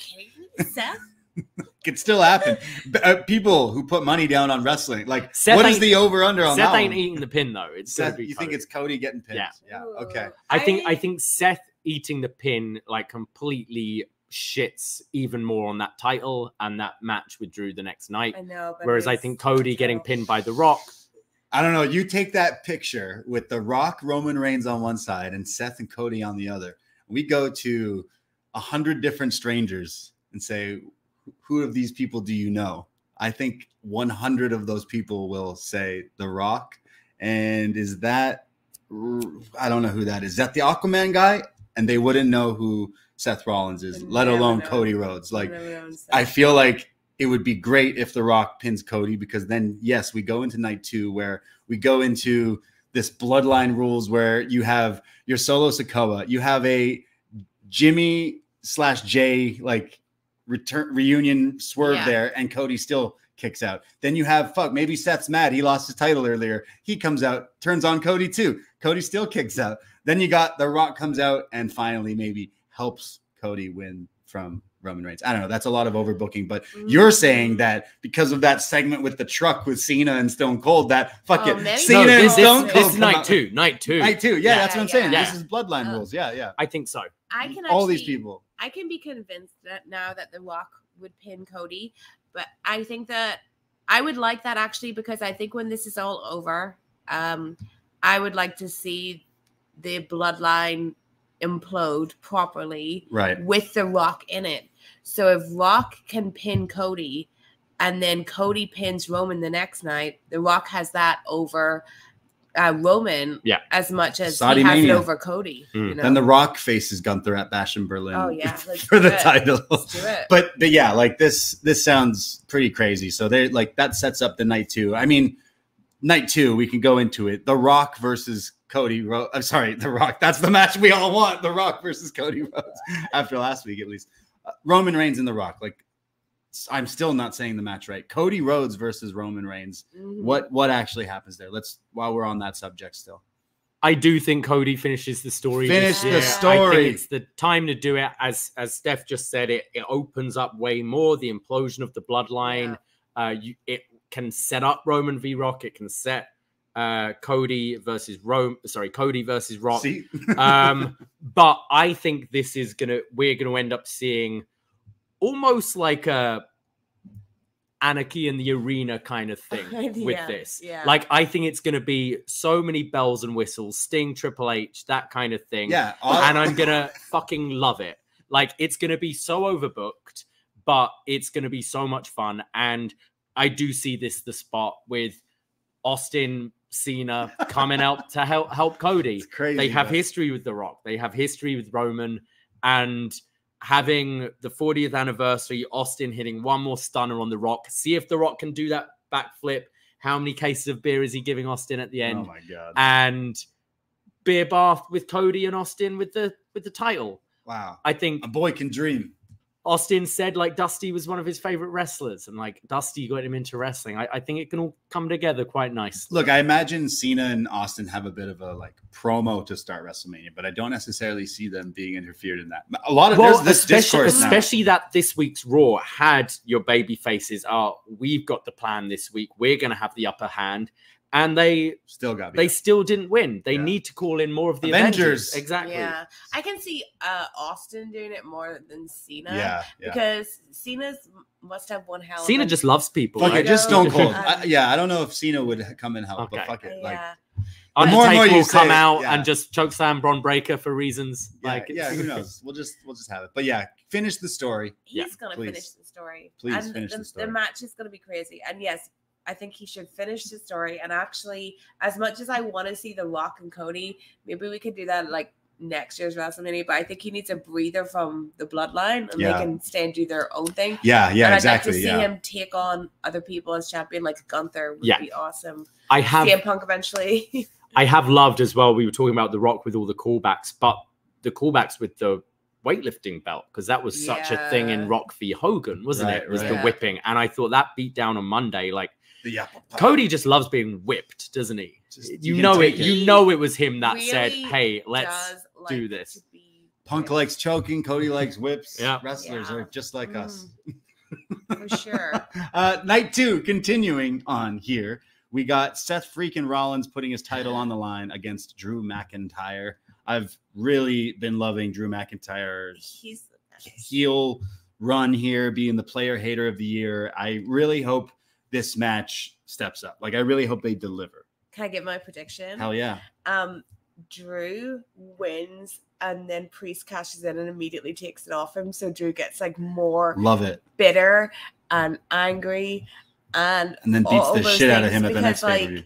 the way this character originally started, it was all him kind of pointed out things that were like actually, you know, true. Mm. And he was just getting more and more like angry and frustrated. And then the stuff he's been doing with Punk, like, I love that so much. I love when people really take the piss out of guys that I like. Like that, like, you know, like that's how um I met Benham because he was taking the piss out of Jay White. You know, so what Drew is doing to CM Punk is right up my alley. And I love that so much.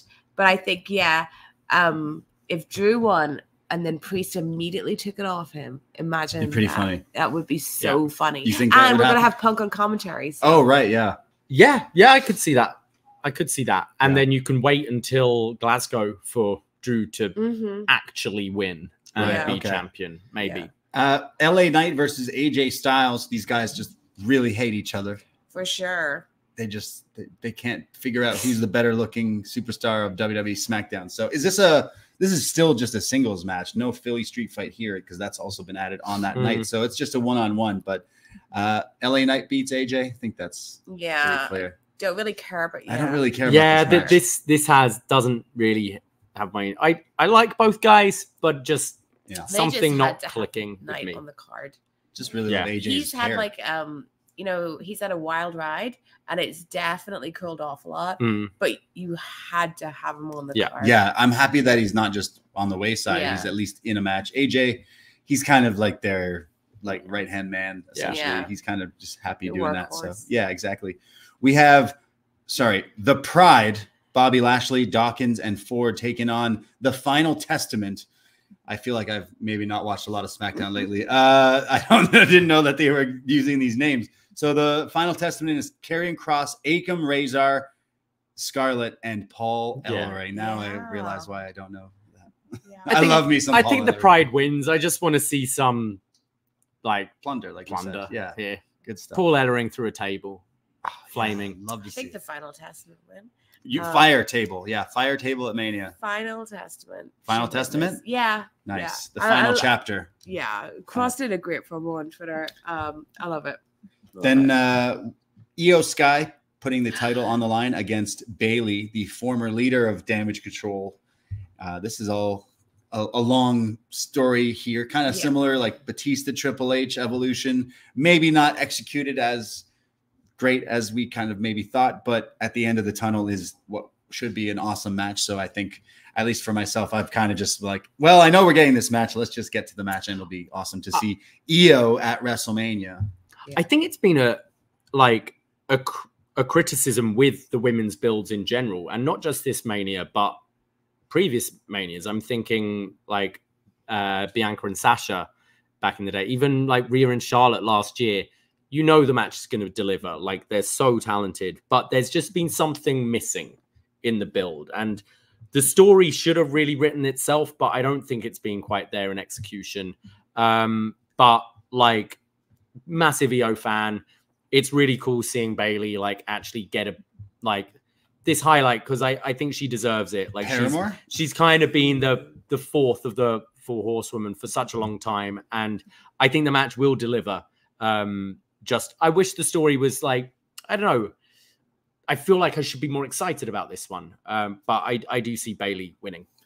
yes to to spoil my own scoops i did speak to bayley last week and i'm putting it out um this week so i should have one out tomorrow Excellent. um she definitely isn't like fully happy with it she Mm. def- like definitely had other things that she wanted to do and wasn't really happy with the pacing is like what i got from the stuff that she said but um bayley 100% like deserves like her flowers her moment like to me she's the best of the four horsewomen and like the least recognized so i think that i th- hope she's gonna win and like and they'll hug it out after.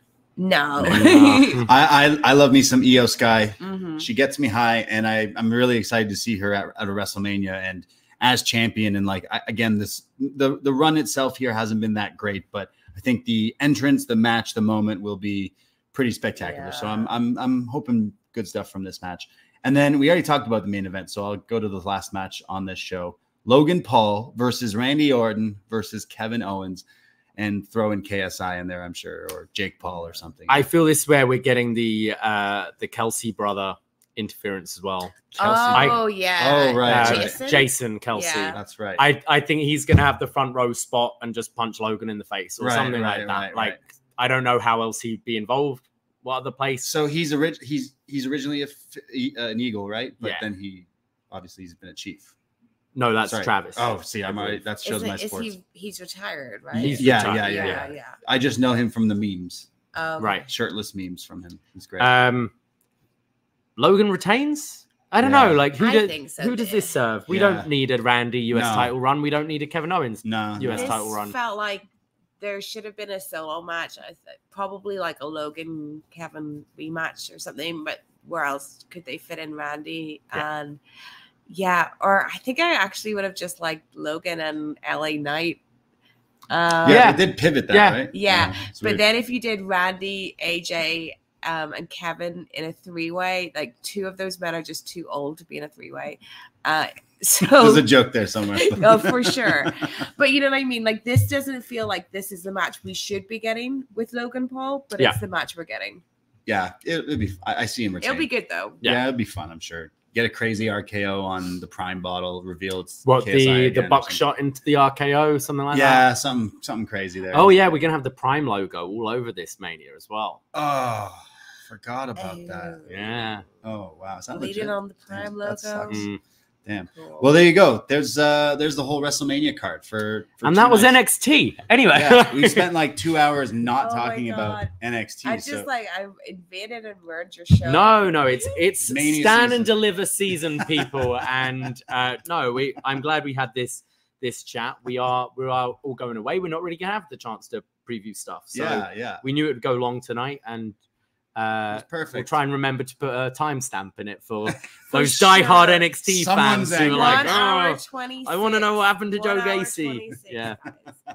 Uh, well, well, we could we could call it there for for now. Uh, we're gonna jump into NXT. Could we could we take a quick like pause? Or yeah. something? Shall we take a little? I need to fill up my Sasha Banks water cup. Oh no, this is my SummerSlam water. I need Well, I'm more. leaving, so Yes. thank you guys for having me. Anyone listening on the stream, we will just take like three minutes and then Three we'll talk five about minutes, yeah, and we'll be back. Yeah. All right. But thank you, Steph. Uh, any Bye. anything else Yeah, for plug you want to plug, please? Um, catch me tomorrow, 6 p.m. Eastern on Fightful with Rich Fan. Um, and yeah, and subscribe to my YouTube channel, Stephanie Chase Wrestling. Excellent, Steph. Thank you so much for joining Thank us, you, guys. and Thank uh, you. happy to have you in Toronto for the next little bit. Yeah. Thank you. So we'll be right back. See you in a sec. Bye.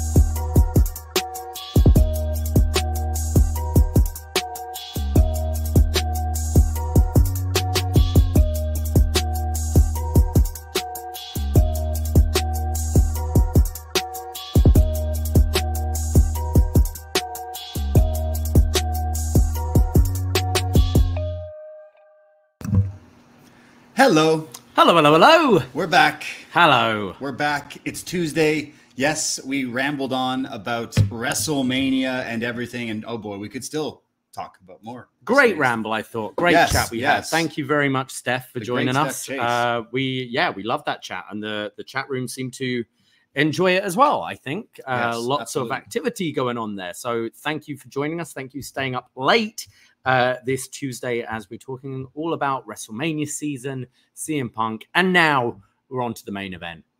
NXT. NXT. That's right. NXT from Tuesday, April the 2nd, 2024. It is the go home show for Stand and Deliver this weekend. As we mentioned, we will be there live. We will somehow record a show Sunday morning and talking about that night one. But at Poisonrana Pod for all the stuff, give us a follow. PoisonRana.ca for the links of everything we do. But we are here. Someone in the chat even says Rexdale in the building. So I definitely appreciate that. Shout out Rexdale. Rexdale, Rexdale, Ontario. Oh, Just just down the road. nice. Hello, Rexdale. Yeah, Sh- should we go? Rexdale. Uh, Are we going to have a collision there one day? uh, no, it's not like it's just like a suburb, of like a Tobico kind of Oh, okay. North York. Sounds fun. Yeah, yeah. Uh, so we are going to be in Philly this weekend, and so will WWE and NXT. And we're here with the kickoff for that show, the go home show, I should say. I'm sure there's a kickoff. There will be, and a match announced. But we're talking about NXT from tonight. And it kicked off with the triple threat tag team match. And the winner goes on to face the Wolf Dogs at Stand and Deliver. The Wolf Dogs may not have been on TV a whole lot tonight, but We we missed them tonight. I think but they have shirts now. they do. They're a little late. We we gave them. we- These are going to be Y2AJ shirts, aren't they?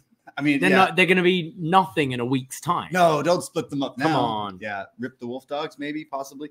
Well, uh, the Wolf Dogs got merch, but the, the guys in this match, it's Frazer and Axiom taking on the LWO versus the Good Brothers in a triple threat. This match had some craziness involved. There was LWO and Frazer and Axiom just going all over the place, and then the Good Brothers were there too. But there was a crazy Spanish fly early on. Frazer does his springboard moonsault into the AJ Styles DDT, and then Axiom throws, I think, Wilde into him as well. So he hits them both at the same time, like a double DDT both ways. It was pretty cool. There's then a spot from Wilde where he does like a pop up into like a mule kick, which was pretty cool. And then a crazy dive from Joaquin Wilde to everyone on the outside. When we came back, there was then a Spanish fly off the top from Axiom. There was then a splash, and then Karl like caught him afterwards and tries to powerbomb him. It was pretty chaotic with all three teams. Even Doc Gallows got in there, hitting a few big boots, and then a like slingshot tope from Karl Anderson, which I thought was pretty impressive. that is working for Karl. tonight, Yeah. And then a nutso like tornado corkscrew senton splash from Del Toro, taking out everyone. But it's Frazer who gets him back in the ring and hits him with a 450 splash to pin him. Therefore, Axiom and Frazer are going on to stand and deliver to face the Wolf Dogs for the tag titles. Uh, yeah, I, I thought a pretty pretty fun opener here. Uh, obviously, you've you've got like LWO and Axiom and Nathan Frazer who are uh, just like great high flyers and so exciting to watch. But I thought Anderson and Gallows also did their bit in this match as well. I was surprised with the outcome. I I was completely expecting some shenanigans that leads to a, a four way tag or something, but no, we've gone with Axiom and uh, Nathan Frazer uh, completely see them taking these titles at, on Yeah. Saturday. Um, but yeah, fu- fun opener here. Yeah, I, you know, we now know that LWO aren't on the card for WrestleMania. Like they're only going to be in what Rey's corner. Mm. So you could tell they were hitting all sorts of crazy stuff in this match, being like, "Hey, look, we deserve to be on that." I think show." it's a shame. I think these two guys who uh, have really stepped up in the last year. We've always been singing Raul Mendoza, Cruz, Cruz Del Toro's praises. Uh, what uh, enhancement talent of Yeah, the year, like exactly. three years in a row when we used to do that. Um, so I think it's a shame. I think these two have really been like busting their asses this last year, and uh, for them to not have a match, hopefully they'll still be featured somehow in this Rey uh, Dragon Lee match. But still, um, Axiom Nathan Frazer, they are your only actual NXT team here, with the others being on on like, And, and they've been on a run. So it makes more sense, especially if we're switching the titles that you you get it onto these guys. And and with the new show, WWE Speed, Mm, you'd imagine Frazer and Axiom are on that because they're like two of the fastest. I'd assume so. Their yeah. gimmick is that they're fast. Yeah. They're superheroes and they're fast. He dresses as the Flash. They say we have never slowed down Yeah. at the end. Afterwards, they cut a little post match interview and they say that we just did some crazy stuff there, but wait till Saturday and see what we do against the Wolf Dogs. So, yeah, I, I think a title change is in order Yeah. as well. We see Lexis King, a little video for him. He's calling out Von Wagner and he says, I'm going to embarrass you. I'm going to beat you. And that match is later tonight. We have Fallon Henley and Kalani make their entrance as we go to break. When we come back, there's a little video, first of many here for the dinner party. yes. Ilya Dragunov and Tony D'Angelo are going to have dinner, but it's Ilya who goes to his car in the parking lot. First of all, he's alone in the parking lot. Mm. You're you're wrestling for the title on Saturday, champ. Not the best Death wish. safe move, but his car's got that like been clamped. yeah, the wheel has been shut shut off, so he can't access that. When this what a dark tinted SUV pull up, all the goons inside, they go Yeah. get in, get in the car, and he goes, oh, I don't know about that, and he goes, you don't want to keep the Don waiting. So Ilya hesitant, but gets into the car and drive off. So more to come from that, as we'll see. Yeah. The dinner. Yeah. I'll, I'll save my thoughts yeah, at the end. I yeah, think. Yeah. Jacy Jayne and Fallon Henley one on one here. Jacy's got her mean girls with her, including Jasmine, who's now sporting the arm in a sling, Mhm. as predicted from last week. Uh, there's Jacy who's just like beating down on on Henley here, and then like they start to go around ringside, and she starts to like beat down on her in front of her friends. And she's got Kiana James and Izzy Dame. Meanwhile, Fa- Fallon's got Kalani and Thea Hale, and Thea keeps trying to get at her as Kalani's like holding her back. Jacy then hits this like running neck breaker for a near fall, and then it's when the girlies, the mean girlies, try to get involved when we see Jacy hit the running knee for the one two three, which uh, I guess the, the real story comes after because they cut the the new Monday Night Raw promos, the cam that follows you through Gorilla. Oh, the the one yesterday was great. Did you see No, which one? Seth? Oh, okay, yeah, Seth yeah, yeah. walking past Drew, who sat there in his shorts. Yeah, yeah. And then making the entrance like Well- one long shot. I, I've been enjoying these takes. This one's even better because they walk through Gorilla, and there's the Rock's daughter, Ava Raine. Mhm. and she's watching them and they say i was never your friend thea. I i saved Chase U i started the calendars and you haven't done anything. And then they walk out and ava's like all right girls. And then thea comes in and she's screaming. I had to turn the volume down on her tv and ava decides to make it a six woman tag at stand and deliver. Thea fallon and kalani taking on jacy kiana and izzy. Yeah, I, I thought the match was okay. Uh, I do like Fallon Henley in ring, and I- and I do think Jacy Jayne's pretty good in ring as well, and definitely has the character work. But this was mainly a setup. There was lots of fuckery in the in the match with all the sort of outside interference. But I have been enjoying the what we've seen across the three brands the the blending of the ring stuff with the backstage. Like it makes the backstage actually feel like an actual backstage and feuds don't stop and start when you come through the curtain. It's like you I, I have been enjoying those kind of takes they've been doing. We we assume we were getting the six person next week, uh, last week. Uh, we're getting it now. You've you've got some good workers in there, like I said, Fallon, Thea, Kalani, like uh, and yeah, I can't say it's the most exciting match on the card, but it, it gets a bunch of these people on there. yeah, these are your like real up and coming women's division here in NXT, and like Thea's definitely showed glimpses of some. All, all of them, like Yeah. some of them are newer than others, but still, like I'm a fan of of most of these women on this match. So I'm hoping we get something something shining out of this thing. But yeah, I mean, it's just another match added to this PLE that we would normally just see these on Tuesday nights. Yeah. We go to a video for Josh Briggs. He has a title match this Saturday. He says, The last two years, you may have known me as a tag team wrestler. Shows pictures of our boys, Briggs and Jensen. Mm-hmm. Hope hope you're doing all right out there, Jensen, wherever you are. Hope you're doing all right. I'm sure. Yeah, he'll be good. Please, Jensen. You're the man.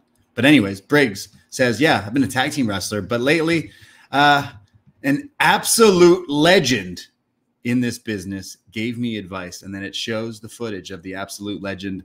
John Bradshaw Layfield, don't Legend. You, don't you? Don't you even smirk at Absolute me. legend. I said yeah. that without smiling. Absolute legend. JBL said, kick some ass. So that's what I'm going to do this Saturday. Uh, at least they brought that up because it was that JBL promo that like made Yeah. him. spell. Yeah, I like these. That Yeah. that was the thing. This show, the the three people in the North American title were getting kind of these featured videos. Um, yeah, We have a shout out to the band The Wonder Years for Year of the Vulture. You a fan of The Wonder Years? sure. Is it like the show with Jason Hervey? Yeah, that, that's the only back. thing I know. Yeah, yeah. comes all back around. Lexis King taking on Von Wagner in our matchup here tonight. Von comes out. He's pretty pissed at Lexis King with the whole stuff with Mr. Stone and caused a rift between them as well. And Von comes out and he just starts beating down on Lexis. He goes around ringside, and the crowd, to be fair, are pretty behind Von. I mean, how how great is it to watch someone beat up Lexis King? And they're really behind him. But when he comes back in, uh, Lexis gets him in a sleeper. Eventually, King uh, gets like rolled out of that. Von is in control, hits like a double underhook butterfly like slam for a near fall, and then a choke slam on the apron. And then ringside goes for a power bomb, but can't quite get it. And then the second attempt, he's countered into a DDT. It was a little messy here, and then gets rolled into the ring, and King hits him with the coronation for the one, two, three. Yeah, Von couldn't quite get him up on the first power bomb, but second one was countered nicely Yeah. enough. But uh, yeah, like I enjoy the character of Von. I, I enjoy the sort of, you know, Frankenstein's monster putting people through tables, but wrestling isn't the most exciting, and he's in the ring against the least exciting person in ring, in my opinion, in NXT in Lexis King. So this this was a the low point of the show for sure for me. yeah, like Von Wagner, they're really trying to get something there, and there there could potentially be something. I've, I've we still love our our Von, but King isn't the guy to get it out of you. He's someone who can't still seem to to really grasp And he good matches. he got like he got the win here, but I can't see him progressing anywhere above this. Yeah. to be honest. yeah, I, Like I, I feel they they tried early on having him up the card Yeah. and didn't work with Melo, and now he's just floating. Frank in the chat brings up a point. Can at least once Von get a W though? Because yeah. Yeah. he's always losing in these Yeah. feuds. It's the same feud. They just someone feuds with him and Stone, and then he loses. Bully Stone, Yeah. Von sticks up for him, and he loses. Yeah. So I guess that ends that feud. I guess Von and Stone are done as well. Who knows? We see Ava going up to Carmelo Hayes backstage in his locker room with his security guards. And she says, like, hey, there's gonna be a lot of security in your in your face to face with Trick later tonight. So just letting you know, like your guys can be there, but I'm gonna have people too. So he's like, Yeah, whatever, I got my guys. It's Yeah. fine. We see Natalya and Karmen Petrovic. they're both blonde. They're both Canadian. So Natty is her trainer. I'm I'm sorry, but this is like Karmen Petrovic is meant to be what uh what's the background? Jiu-jitsu, karate, or Karate? something, I know. She's and meant to be incredibly like skilled in it. And here's Natalya going. So when when she kicks you, you block her like this. I'm like, I'm Natalya. Talk about wrestling, but sorry, you're you're talking about someone who's got a legit background She's in like, this oh, that's how you counter against kick? someone else Wow, with Thank you. a legit background in martial arts. Yeah, former karate champion. Yeah. She's been competing in the Canadian national team since she was 17. And here's Natalya telling her to to block a kick from the MMA expert. Well, maybe Like, if I'm she listened to Natty years ago, she would have uh, gone even further. Yeah. If she just learned how to block a kick. Imagine your whole career. You're like, whoa. So this is how you block a kick. It's Wow. like you know when uh, there were those stories of like you'd have a comedian as a guest host on Raw, and Vince McMahon would be teaching them like how he wants them to tell the jokes, and it's like it's kind of my job, Vince. Yeah. Like, kind of what I do. Well, Roxanne Perez walks in and goes, a few years ago, I would have listened to her, but not now. Like, Yeah. nah.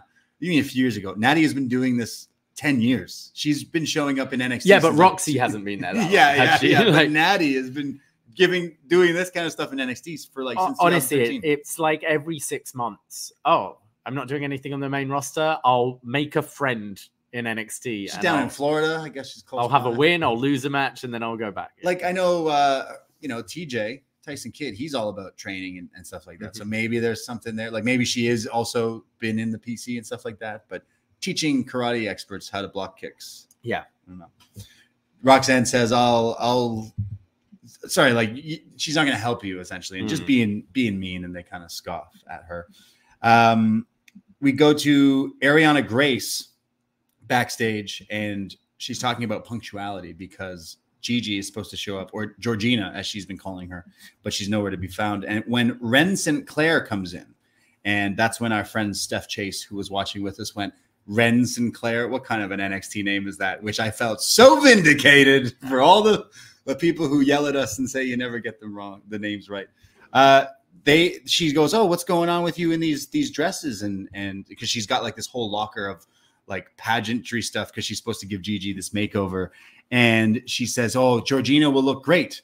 And Wren says, Well, Gigi already looks great. Why would you need to do this? Isn't pageantry about like being who you are? And Arianna does not like this and says, You've ruined everything. How dare you? This will have to wait. I'll see you later in the ring. So it set up a match. Yeah, Wren hasn't clicked for me on any level right now. I think she needs to find something. Uh, I, I found these sort of little backstage segments she's had very bland. I think her gear is awful, like the the sort of what like eighties Nikos fame, Ricos. like dance school tights and yeah, just not working. And yeah, like she needs she needs something about Yeah. her that we haven't quite seen yet. Um, Arianna is always quite funny in these things. Yeah, she is. We go to our next match. It is Karmen Petrovic taking on Lola Vice. So they did a good job of building this up for what it's worth because uh, last week we had the training videos to hype up for this match where they explain, like, look, Karmen legit background in karate, legit kicks ass. Plus Lola Vice, also former, you know, what MMA and all sorts of different stuff, and had them training and now setting up this. But but yeah, where does Natty come in from two people who are like trained and maybe she needs to learn how to wrestle more, and that's why Natty's in. I don't know. But anyways, um, there's there's uh, a bunch of like grounded wrestling attempts here. There's Lola who gets this great uh, armbar attempt early on, and then these like body shots. But Karmen comes back with these side kicks, and then uh, starts to like uh, use these these kicks, and then like a sweep, which was very impressive. Like it showed like yeah, use what you're good at and Mm. highlight that you can like do all these crazy things with your legs. Eventually, though, Lola gains back in control, and while Natty's watching ringside, she drops Karmen down and puts her in the sharpshooter right in front of Natty, and she sticks her tongue out as Karmen taps out. And as Natty gets in the ring to console Karmen on the on the mat, Lola just stands in front of them, laughing and shakes her ass in front of them. Yeah. Love it. Uh, yeah, I- think the uh, often what we see in in wrestling when you have these people with like legit striking backgrounds, it's their strikes end up looking kind of weak when it comes to wrestling because they don't don't want to take people's heads off. You Yeah. know, like that's what they've. It's relearning something, and I think we've seen that a little bit with uh with both these two really. But I thought they both looked better here. I thought they both stepped up, and I thought their their kicks and strikes looked really good. I actually thought Lola Sharpshooter looked pretty nice. You did, well. yeah, it did. Um, Natalya obviously already has the win over Lola. I reckon we're getting a, a rematch where Next week. where Lola wins this. You know what? Maybe just have Karmen turn on on Natalya, get the win for Lola, and pair these two up as just these two like Killers. killers. Yeah, Yeah, I, I I know we've seen a bit more of Lola, but I think this was the best showing from Karmen and Mhm. possibly Lola as well. Like I think with that background, there's there's room for like that. That could they could both be stars with that background. Like who knows what you could go into this, but it's this is one of Karmen's biggest TV spotlights yet, and Yep. she she definitely like showed improvement and was pretty good. So I I see some things with this. Shout out to our friend Mark. Who says he's he's got history with uh, training? yes, uh, with Lola Vice and uh, is is uh, is like us and all the fans out there that are are out there telling Shawn Michaels to sign Lola Vice's sister all right. as well. uh, we go to Dragunov. More of this. He's in the back seat of a car, tinted windows, and they stop the car and they say, "Get out. walk. So he goes, he sees this building, goes in this back door. We've all been there here. He sees these guys with power saws in the middle of the night, just, Just- cutting foam, Just sawing styrofoam, just staring at him, Yeah. being all wearing their fedoras. He's got they've got nail guns and he's like walking through this place like what the hell is this?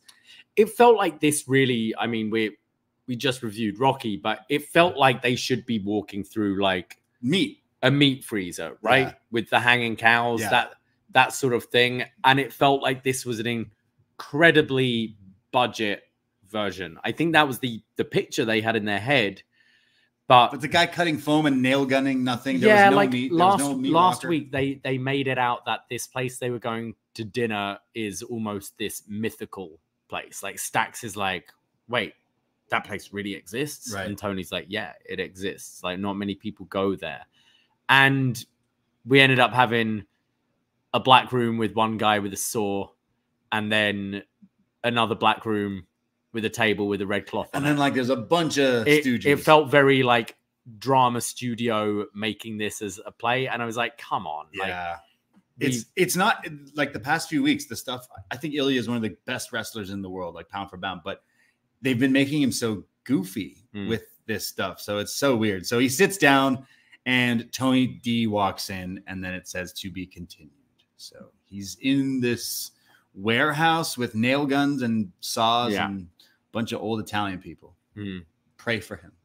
yeah i guess we go to the supernova sessions the metaphor it went from like real dark and attempted to be scary the guy with the nail gun this is like home alone 2 or something to very happy with the Meta-Four entrance thing i mean that's nxt for yeah you love it so uh, in it he- here we have the Meta-Four all in the ring and then noam dar who got a chuckle not only once but twice with the exact same joke so i gotta give it to noam dar for like you know someone who likes to reuse the same jokes roxanne Roxanne. it's the weirdest song And then, uh, yeah, we've been over that. Yeah. As he comes out here, she, sorry, as she comes out here, she makes her way. He then does it again and equally got the laugh from me. So again, you win, sir. Uh, he then brings out Lyra and she's just all angry and aggressive. And they're like, whoa, whoa, settle down, please, settle down, please, please. And Roxanne just says, hey, just give me the title. I see your arms feeling better, but that's mine and I want it. Just give it back to me. And Lyra says, oh, you just say the same thing over and over. You say it's not your fault that you lost the title, but it is because it's not your fault that Indi climbed the ladder before you did, or it's not your fault that Lola Vice, you know, cashed in her contract. I mean, it, it's not her fault, but yeah. She then says that uh, rocks that like you just blame people. You've been blaming everyone else, and now you're just mean. And uh, I, I'm I'm not standing for it. Roxanne says, Yeah, well, you've been champ for six months, and I think it's time I knock you off your pedestal. And I'm dangerous. And at Stand and Deliver, I'll show you that. And Lyra says, Well, you know what? All you do is bitch, bitch, bitch, bitch. And after Stand and Deliver, you'll have a lot more to bitch about. And then they start to fight, and Lyra puts her up on her shoulders and hits her almost bird bomb or the AA through the IKEA table with the Meta-Four's candy. Yeah. Um yeah, I I quite like this. I I like Lyra kind of pointing out the inconsistencies in Roxanne's gripes. She was like, "Hey, uh, suddenly now you have an issue with it all. Like you weren't calling it your title when Tiffany Stratton was champion, when Becky Lynch was champion. You weren't saying it then, but now I'm champion. You're saying it's your belt, and uh, and is also bringing up, hey, you've got an issue with Lola cashing in. You cashed in on Mandy. That's how you won the title. You Right. cashed in and won quite suddenly and unexpected. So I liked Lyra's justifications here. Um, and I thought the physicality was pretty good. Lyra seemed to get actually busted open Her from nose was this, bleeding. from this punch from Roxanne. Yeah. And also, I kind of like the like this wasn't a standard wrestling table, as you put it. It was more like a yeah, I have one the the. IKEA coffee Yeah. tables you get, and I I thought that made it look a little better because it had stuff on it as well. yeah so- we know it's not just your classic breaking table. So yeah, I I think this feud is in in a good place, um, and I I am looking forward to the match. I, I think they'll kill it. While you're on that subject, like normalize using other types of tables. Yeah, you know, 100%. sometimes you know we have this, we have like a New Japan style table Yeah. here at the BDE, like but one we, that absolutely will not break. we ha- we could test that out. Uh, we have a plastic one that like you don't usually see in wrestling because they can't you can't usually break someone through Mm. that. But again, try it out. Glass tables, Real glass. We yeah. have a glass table in our living room Yeah. as well. Like there's different tables you can, you know, there's different chairs Yeah. also in this world as well. But I, it's always interesting seeing like, and I'm pull out a table because these are the ones we use. But uh, I am also excited about this match. I think um, the feud itself, the the story and everything makes sense. I'm not too sold on some of the acting from some of them from the past Mhm. few weeks, but I think the match will deliver. Roxanne in this new character should beat Lyra going forward and be the the new heel baddie here in NXT because she's she's great. So yeah, the match itself will, will we get a video for Dijak hyping him up for this Saturday in the triple threat North American title, and he says that it's his time. And uh, I actually was making myself a, a burrito because you were kind enough to make burritos here. But I assume he said justice will be served. Yeah, I, it was it was what you imagine a Dijak video package is. It's black and white. He's wearing sunglasses And then- inside. Yeah, He's talking about wearing- justice. And then Um, Oba was Oba. It shows like he, he was watching this, and he says, and then he turns to the camera and he says, "I'll show you champion." Sorry. So he has a match just a little bit later. Yeah, I, I like that. We saw like Oba watching both. We assume he was watching the the Briggs one Yeah. as well. We see Ava talking to Trick, and she's talking about how, like, hey, you know, this is the biggest match in NXT, and I want things, I want a definitive finish kind of thing, which makes me believe they announced it's, you know, no holds barred or something, which they did not do at the end of this Hmm. episode, which I think they should add to it. I'm not sure, but yeah. We then go to our next match Oba Femi taking on Joe Gacy. I'm not going to call him Creepy Joe Gacy anymore. I'm just going to call him Crazy Joe Gacy now. But before Gacy can make it to the ring, he is attacked by Shawn Spears, the chairman. But the match is going to be thrown out. But Gacy's like, no, no, no. I want to do this. I want to be in the match. So he goes in the ring. And as Vic and Booker, like, man, like normally a guy who's not been attacked before his match doesn't fare well against this giant. But this guy just got hit with a chair and he still wants to wrestle. Like, what are they? Is he thinking? But the match starts and Oba just immediately squashes him. He's throwing him around the ring. He does like these splashes in the corner. He then has him on what the apron and kind of like swats him and chops him down on his chest. And like right away, you can Really see loud. really like red chest there. Uh, eventually, he throws his like big back suplex throw, and I don't know what happened here, but the camera goes solely on Oba, and they call the match a no contest. And at one point there, they made it. They they did not show Gacy at all, and you could see a little concern in the eye of Oba Femi, especially someone who's not been here for that long and not have many matches. His eyes were very like, oh my god, oh my god, Hmm. what is going on? But I I was a little worried for Gacy. I thought he took the move like okay, I could see him actually blocking in midair, like where he was going to land. And then later tonight, he to go ahead here, he does go into Ava's office, selling that he's hurt, but says I want a match and will be wrestling this Saturday. So I think it's safe to say he's okay because I was a little bit worried when they didn't I- show him. I feel like this might have been just an angle. Um, really? we know like they have played about with the throwing up the X thing in NXT before. Hmm. Um, but to go to the match first, I, I thought Gacy actually showed a pretty incredible bit of strength because he hits this huge back suplex on Oba Femi, who is massive. yeah. Uh, followed by a lionsault for a guy from his size, I thought was pretty pretty cool. Um, but yeah, I I think it might have been an angle playing into the fact that Gacy was attacked beforehand, and this whole Gacy character is like he'll just keep coming back for more, and Yeah. and like he won't be put down. So it takes a referee stoppage or something, but it, it is something where like it does make you think, wait, well, what's happening? Like, is this is this real? What's going on? The fact that he was on the show so soon after, like, I don't think you'd have had time to do like you know concussion checks and Yeah. all that in that time and book him for a match. So I, I do think it was probably an angle. I don't. I just maybe like they called it because they thought he was hurt. I don't know. Like the fact that they they didn't play up it. They didn't even say anything. Oh, uh, there's an update from Fightful's Corey Brennan, who says that the Joe Gacy situation on NXT was legitimate concussion protocol, but he's believed to be okay after early examination. Yeah. So it was just yeah, precautionary. Like Okay, so this just happened, right? And as a viewer who I've been watching long enough, and I'm not tooting my horn to say like I'm a smart fan, but we've been like designed to to notice that like if something's gone wrong, they're not going to keep the camera on it. Yeah. they're going to show someone else, Yeah. and that's exactly what they did. So that's how I figured like, hey, is he okay? Hmm. Because they didn't mention it, and then later on he he's shooting an angle like, Yeah. oh, I'm injured, but like I'm okay. So I was like, oh, then he must be fine.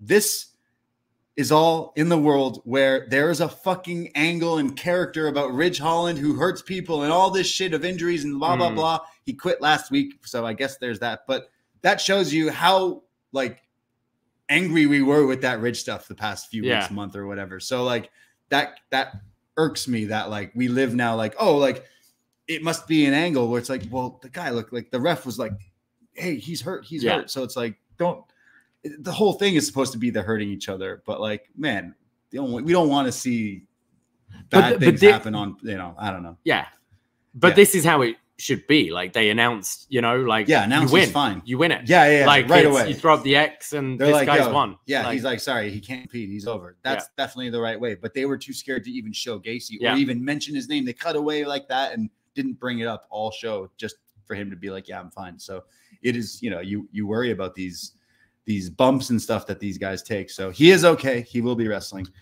I mean, the main card. yeah, or- yeah. I mean, I'll go to it now. Later in the night, Ava Raine is in her office. If you want another chuckle here, she's got a giant folder Hmm. and she's looking at it and she goes, Huh, really got to pat myself on the back for this stand and deliver card.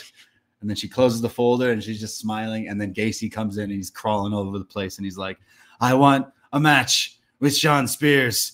He, I want a match. Give me him. And she's like, All right, fine. It's on the countdown show. So there you go. Yeah, I I'm gonna be honest. I don't know if I'll be in the arena for this at 11:30 in the in the morning, but I'll try my best I will not. for the chairman. I mean, we're going together, I imagine. No, so but we're not going to try our best.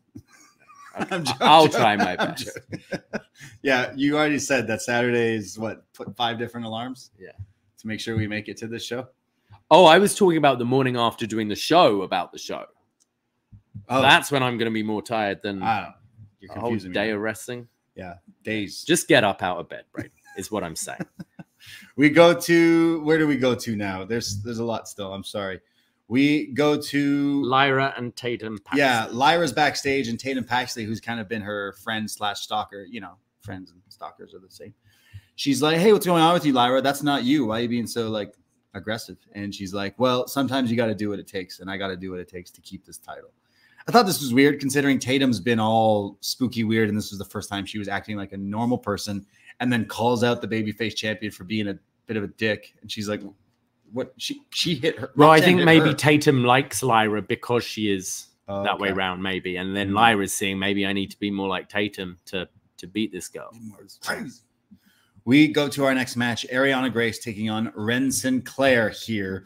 Grace is very aggressive early on here, beating down on ben, on Wren. She puts her in a nice looking Boston crab here, but Wren comes back with this running like sit out. Larry. It looked very nice, but it's Arianna who gets her into the corner and does almost like a European clutch, but then as she's bending backwards, she holds onto the bottom rope, and the ref just didn't see it and counts the one, two, three, and Arianna wins and then waves to the crowd, and the crowd seemed to like Arianna, even though she's kind of a, ba- a heel. I thought this was the the best Arianna's looked. I like that she wasn't going into the oh no, I don't hit me. I don't want to hit people. She was she was dominating here, and I I thought looked good with some of her moves. Had a nice deep Boston crab. Yeah, It was yeah, very looked deep. nice. Yeah, it was nice. Um, I, I kind of said my piece on Wren Sinclair earlier. I want to see more from her. I need her to change up the look and get a bit of an edge. I think. Yeah, the the Zack Ryder like Yeah, not working. Yeah. We see a list of everything going on this weekend for WrestleMania. There's like kickoff shows, panels, Mm. WWE World, the, Speed debut as well. So Ah. it's a busy week. Lots of stuff. We go to the dinner. Ilya and Tony in this dark room in this building. We're not sure where. And Ilya says, Tony, now I know why you brought me here. As soon as you invited me, I looked up the location. See, this is a smart wrestler. He got an invite and it said, you know, show up to dinner at this location. And he Googled it and found out that this is a pretty sketchy place. He says, I did my homework and this is a scary place. And somehow I'm still here. I'm not scared of you. And Tony says, Yeah, well, you know, you should be lucky because this could be the end of you. And it will be the end of your reign because that's what this represents. And you can see it in my eyes, Ilya. I could have taken you out the moment you walked in here. You saw all those guys cutting foam. they could be Yeah. cutting you. he didn't say that, but that's what I was thinking. He then says, Hell, I could do it right now. And he grabs his injured hand that Stacks hurt last week. He grabs him and he gets real close. And he goes, But I won't do that. I'll only take this title because that's what I want. And it will be mine. And I will beat you this Saturday. And then his what consigliere, his group, Hmm. they bring over this big dinner plate with like the metal hand thing covering it, and then says, Enjoy your last supper as they all walk out. So we don't see what's in this thing. Yeah, it wasn't big enough to be a horse's head. Yeah. and we don't find out what he had for dinner. I hope it was nice. No, it, it's. It's probably uh, spaghetti and tomato sauce because that's all these guys have seemed to eat on these shows. I'm not, I'm not talking about Italians. I'm Yeah. talking about these Italians yeah, on yeah, this yeah, show. yeah. It's very pathetic looking pasta, Yeah. quite usually. Um, yeah, like I I thought this completely lacked. As I said, they they built it up like it was going to be this like serious place. It was just a black room, um, and I don't think either said anything we haven't heard. Ilya's saying like, "Oh, I do everything to hold on to this title, and I can't be broken." And Tony saying, "Well, I'll be the one that breaks you." Essentially, I must break you. we've we've heard this week after week um and for most of Ilya's feuds to be honest um it's it's a shame because i think i think this is the match that makes the card look less interesting i think there are nice things on the undercard like the the the tag match like the triple threat north american title match like the women's title match obviously trick and melo, melo as the main the title match just feeling less than drags this card down for me. it's it's not been very exciting. I again, I'll, I'll reiterate that I think Ilya Dragunov is one of the best pound for pound wrestlers like going, and it kills me to see him being put in these like mobster movies. Like this is not Goodfellas. This is not a Scorsese pick. This is kind of low end like videos for a title match. And I know They should have just cut his fucking finger off. I, I like I don't know Would have made it interesting. yeah, I don't know. Like, I don't, you know, I'm sorry that Scorsese doesn't direct NXT, but like they could have gotten something else. They could have done fuck literally anything. I I I don't think this match had a lot of people's attention before Mm. for the past few weeks, and I sure as hell don't think it's got a lot of people's attention now after watching this. If anything, this sours people. I, It- I love Ilya, but his acting is bad. Tony is like not. He's been doing this already for years, so it's not like this is anything new. It came out of nowhere and and they haven't added anything new to it for either character. And it's just meh.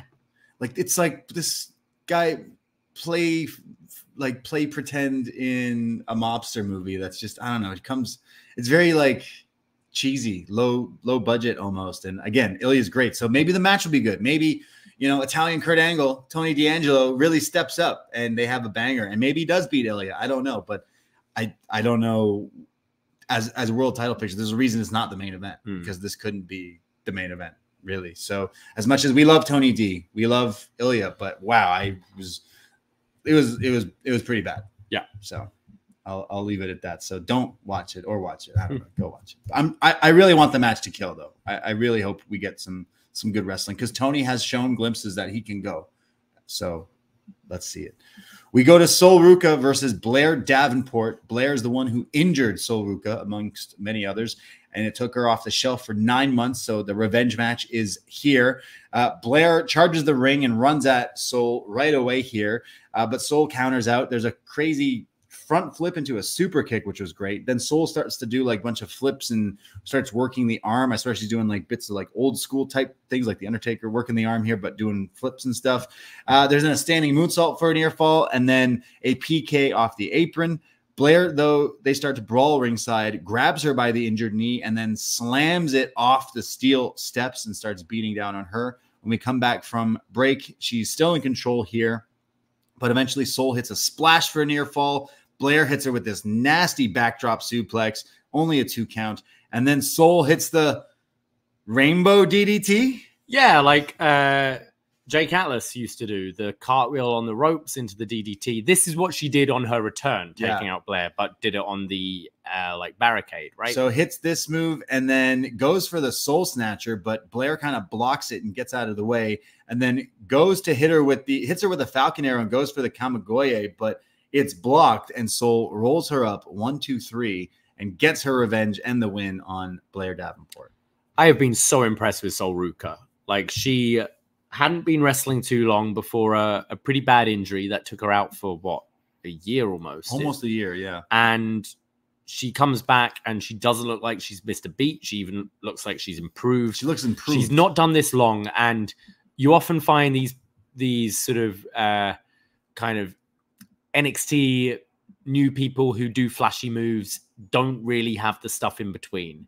Uh, and I, I would even say a veteran like Naomi's guilty of this, where she tries to do some stuff which is like, you know, unique and original, and we haven't really seen, but it, it just comes across convoluted and doesn't really work. Whereas here, like Sol was doing, as you mentioned, some really interesting like flips and stuff mixed in with classic chain wrestling and the wrist locks and all that. I I think she's really picked this up really quickly, and I think uh and yeah, getting a big win over Blair here. If you do have the title change in the women's title scene and you have a heel Roxanne as champion, Sol is someone I'd like to see chase for that title. Yeah, yeah, no, she's she's totally stepped up. I was a big fan of her when we saw just glimpses of her before the injury, but now it's like coming back. She's looks like she's head and shoulders above some of the other people who've not been off on the shelf. So, yeah, uh, interesting to see where she goes in in her career at NXT and WWE because you know all things go right. I think she could maybe be a pretty big star in, in WWE. She's got some really flashy moves and we've talked about the surfer gimmick, but if done right, maybe you know, don't just don't show emotion and be chill all the time. Yeah. you know, love it. We go to this is where we saw Dijak Briggs and uh, sorry, Dijak Briggs and Oba, as my spell check corrected it to Boa, and he's definitely not on the show, but Oba Femi, and they all are arguing about who's going to win at Stand and Deliver, Hmm. and Oba says, "I'll beat you both." This is where I Gacy- think he will. yeah, probably. This is where Gacy came into Ava's. And then we go to our main event slot here the face to face one last time before the match. Carmelo Hayes, Trick Williams, both with lots of security with them. And they are face to face. The crowd hype for Trick, as always. Whoop that Trick. And Trick says it wasn't supposed to be like this. It was supposed to be Trick Melo Gang from the beginning to the end. And we had a bond so strong. And now it's it's turned to this. And Trick mentions that this will be the first PLE on a Mania weekend featuring two black men in the main event, which gets a, a huge reaction from the crowd here. And Melo's like, Yes, that's a big deal. I get it. But Trick says that makes it even harder because it's against my own brother, my own friend. And I've changed since the last time we faced. And they mentioned a house show his third match ever in Virginia somewhere. And he says, I didn't know if I belonged, but you were there for me and you helped me. And Melo's like, Yeah, I remember that. Like, I had your back. And anytime Melo tries to talk in this promo, the crowd would just boo, Yeah. which was pretty great. Melo brings up the fact that championships are like his girlfriends. He says, I lost mine, and then you lost yours. And then I said I'd get mine back, and you said you, you'd get yours back. But then you went behind my back to go get my girl the NXT championship. and well, you made your brother your enemy. And Trick is like, nah, it ain't like that. Why would you say that? It's not like that. I told you face to face. And he recalls the time on NXT long time ago where he goes, Yo, I'm happy for you. I like being your your friend and your partner, but I got to go on my own to try to see where I can go. It was a huge storyline, and he's saying, "Remember, I did that, so you can't say anything." And the crowd are behind me, and the crowd are definitely behind him because they're booing Melo and chanting "Whoop that trick" a whole lot during this. And Melo says, "It doesn't matter. You'll always be a backseat to me." and he says, "Everyone knows that you need me." And then Melo brings up the fact that like, and don't worry, you'll be hot right now, but after a little while, they'll they'll drop you. They'll move on to the next person. Trust me. And Trick says, "Oh, like I think he said they love you when you're shining, but they'll switch on you like Nintendo." And Yeah. Trick goes, oh, "Okay, okay, I see what this is. You're envious of me. You're angry that they like me now and not you as much." And Mel, he's basically saying you're jealous. And Melo says, "No, no, no. I'll show you today. I am him. I don't miss. Doesn't matter." And Trick gets the crowd saying, "Whoop that trick!" as they start to brawl. He ends with, "I'll whoop that trick and I'll whoop that ass." I found it funny because, uh, yeah, Melo punches Trick first, and Trick doesn't go to punch Melo. He just punched guard. security, and this guy's like, "Yo, what the fuck did I do?" It reminded me of. I, I don't want to like. I just think of the what probably my way, Rock Austin, and they're always punching Yeah, like jobber cops and Yeah. security guards and stuff. But uh, yeah, I, I- I thought these two had a great segment, and it was definitely needed for this. Like, if anything, this is the match of NXT for this Saturday. Like, this is what's getting me in the door for sure. I've really loved what Trick has done this past well. I mean, both of them really, but like Trick has definitely stepped up and elevated himself in someone that like his first time on TV, not a lot of people really, you know, liked what, they were seeing. And then look, all this time has come by and he's really become such a star here. So I think this match will be the the highlight of Stand and Deliver. I agree. I was really disappointed with this segment. You didn't like it? No, uh, I I've been loving the story. I thought the prime target last week was good. I just didn't think either brought enough, and I think it was maybe trying to bring that energy of, you know, ah, we were once friends and that, but I didn't really feel it with this, and I kind of wished it was reversed, and you maybe had the just the prime target this week to get you hyped.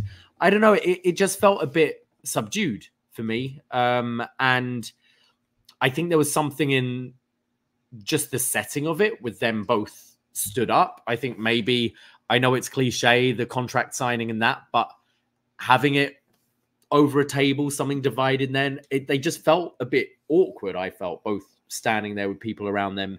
It didn't, I, I didn't feel I, I liked I liked Trick, you know, trying to tap into that emotion of you used to be my brother and that, but I I needed to see him get fired up as well. And I think it was the right move not to just do his quick like one-liners and things, but I needed like a little bit more passion and anger out of him. I think we needed something to happen in this feud. It kind of cooled it off. And I know it's not main roster and all that stuff, but Melo could have really put the beat down on him, maybe more than once. That really like, hey, I beat you so bad that like I don't want you back in here and, and kind of thing. And it's still, I feel like they kind of cooled it off a little bit, but that's kind of been what NXT has been doing. Like, hey, well, you know the match already.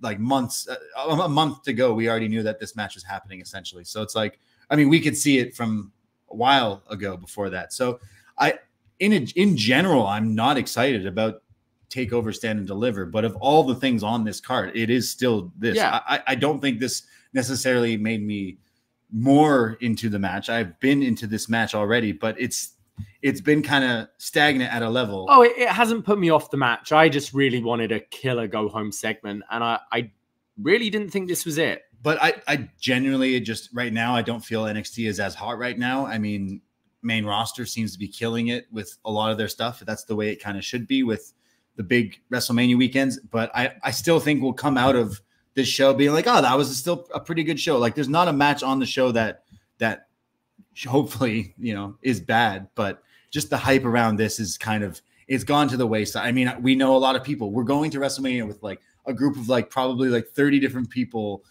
give or take that we're moving and going to different shows with that like more than half of them are not going to this show and don't care which is fine. There's a million shows going on this Yeah. weekend. Like it's like gone are the days of NXT being the super indies. That show is called AEW these days. And I think NXT serves way, way better as a developmental brand. And at WrestleMania weekend, NXT shouldn't be the show you're excited Exactly. about over WrestleMania. I should be more excited about the show I'm spending fucking $600 on two nights of, you know, to see.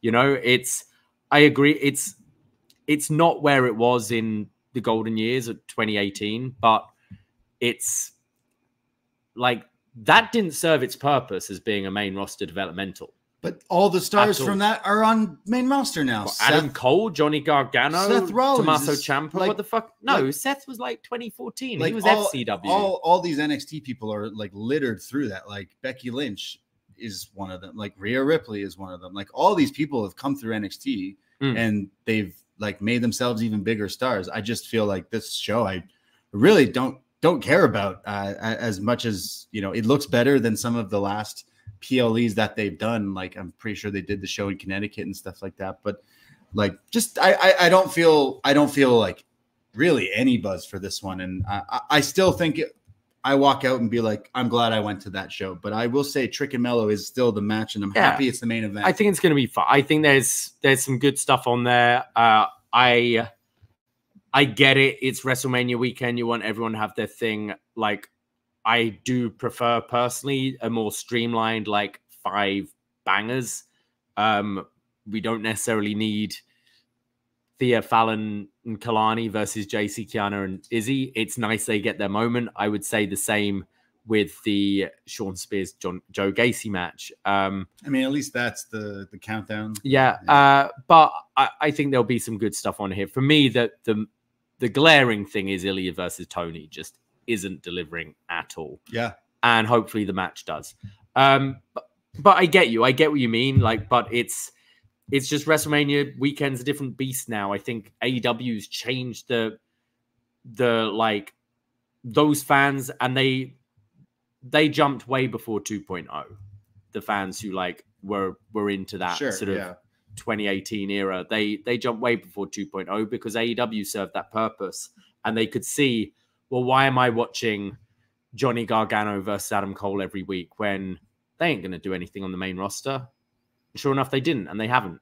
Like, Yeah. so I get it, and but as a developmental brand and being solely that, I, I think it's doing a nice job of building people at the moment, and I am seeing people more likely to be stars on the main roster than I did during those glory years. So it's it it's interesting, but I I do think uh, And I don't want to get up to to go at twelve, but I'm the case with any show, any show. I Yeah, wouldn't want yeah, to see yeah. anything at twelve. and where else are they supposed to put it? Day have, three of my holiday, like they have so many- spent. They but- have so many shows. Like, how, where Yeah. else are they supposed to put this show? So and hopefully this is the last of that like once we go into the new tv deals i i would hope um i would hope smackdown moves off friday nights and that would solve a lot of things with these weekends because you can have nxt be the the friday night show and maybe to draw some more people into that you do have those main roster talents who aren't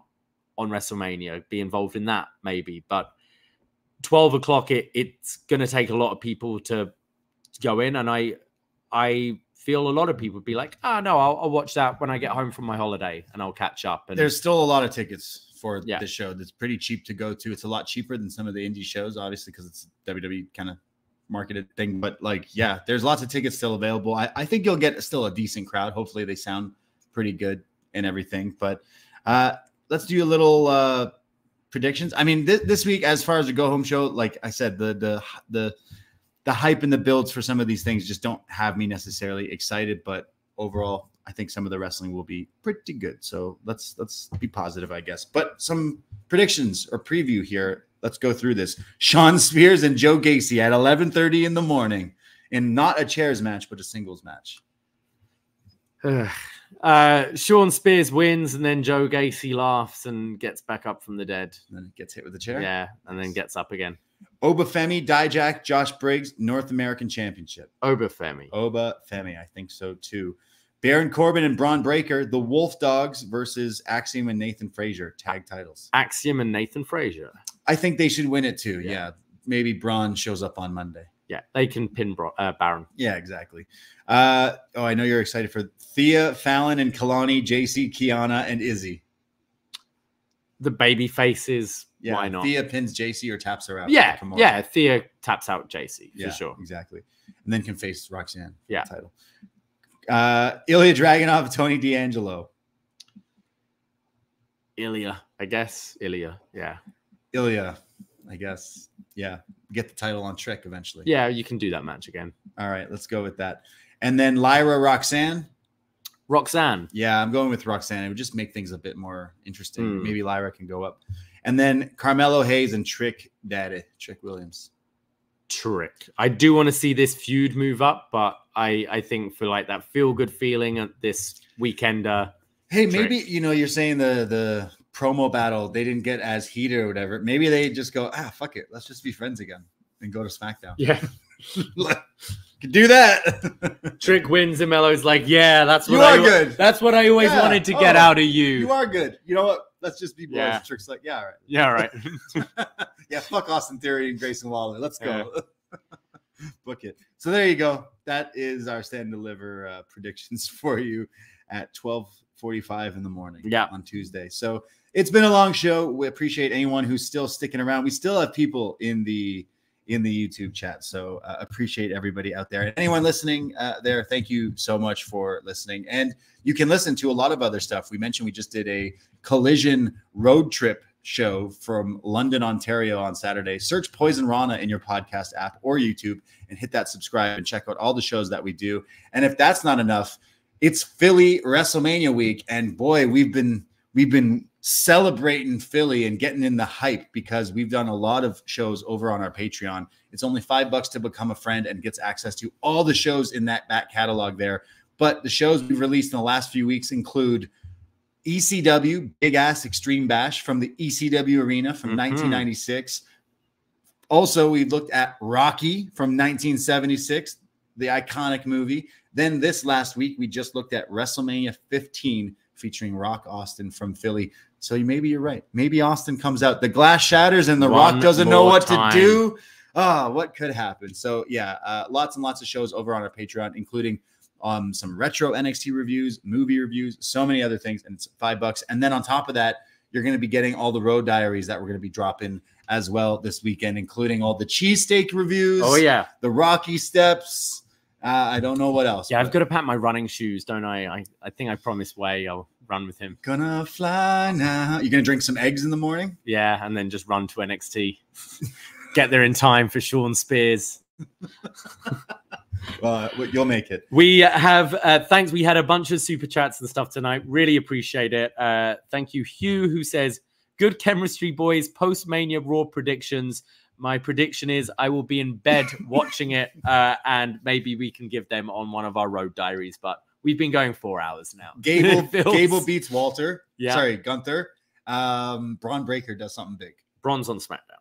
Oh shit! All right, well, there you go. Uh, appreciate everyone out there uh, at Poisonrana Pod, Twitter, Instagram, and hey, while you're listening, I know Way played it at the end of review away. Uh, thank you, Way, for playing that. But check out finish the story. Go to our socials or go on our YouTube page. I also put it on our podcast feed as well. But B Detroit's cousin, Spiffy J, is a rapper from Detroit. I made a Cody Kingdom sampled beat and I made a video to it. So go check it out and give it a thumbs up if you like it and share it and show all your friends. Really appreciate it. But I myself, Braden Herrington, you can find me Twitter, Instagram at the Bray D. And you can find me at Davie Portman. That's it. That's all. Take care. Goodbye. Be safe and happy mania, y'all. Ahoy!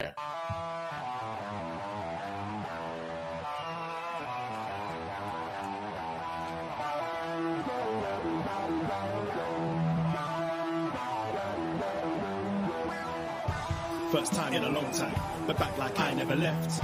Taking each day as it comes, you know me, I don't read ahead. Watch me burn down everything, BDE on the TV set. When I'm in control on the road, you can never really know what's up next.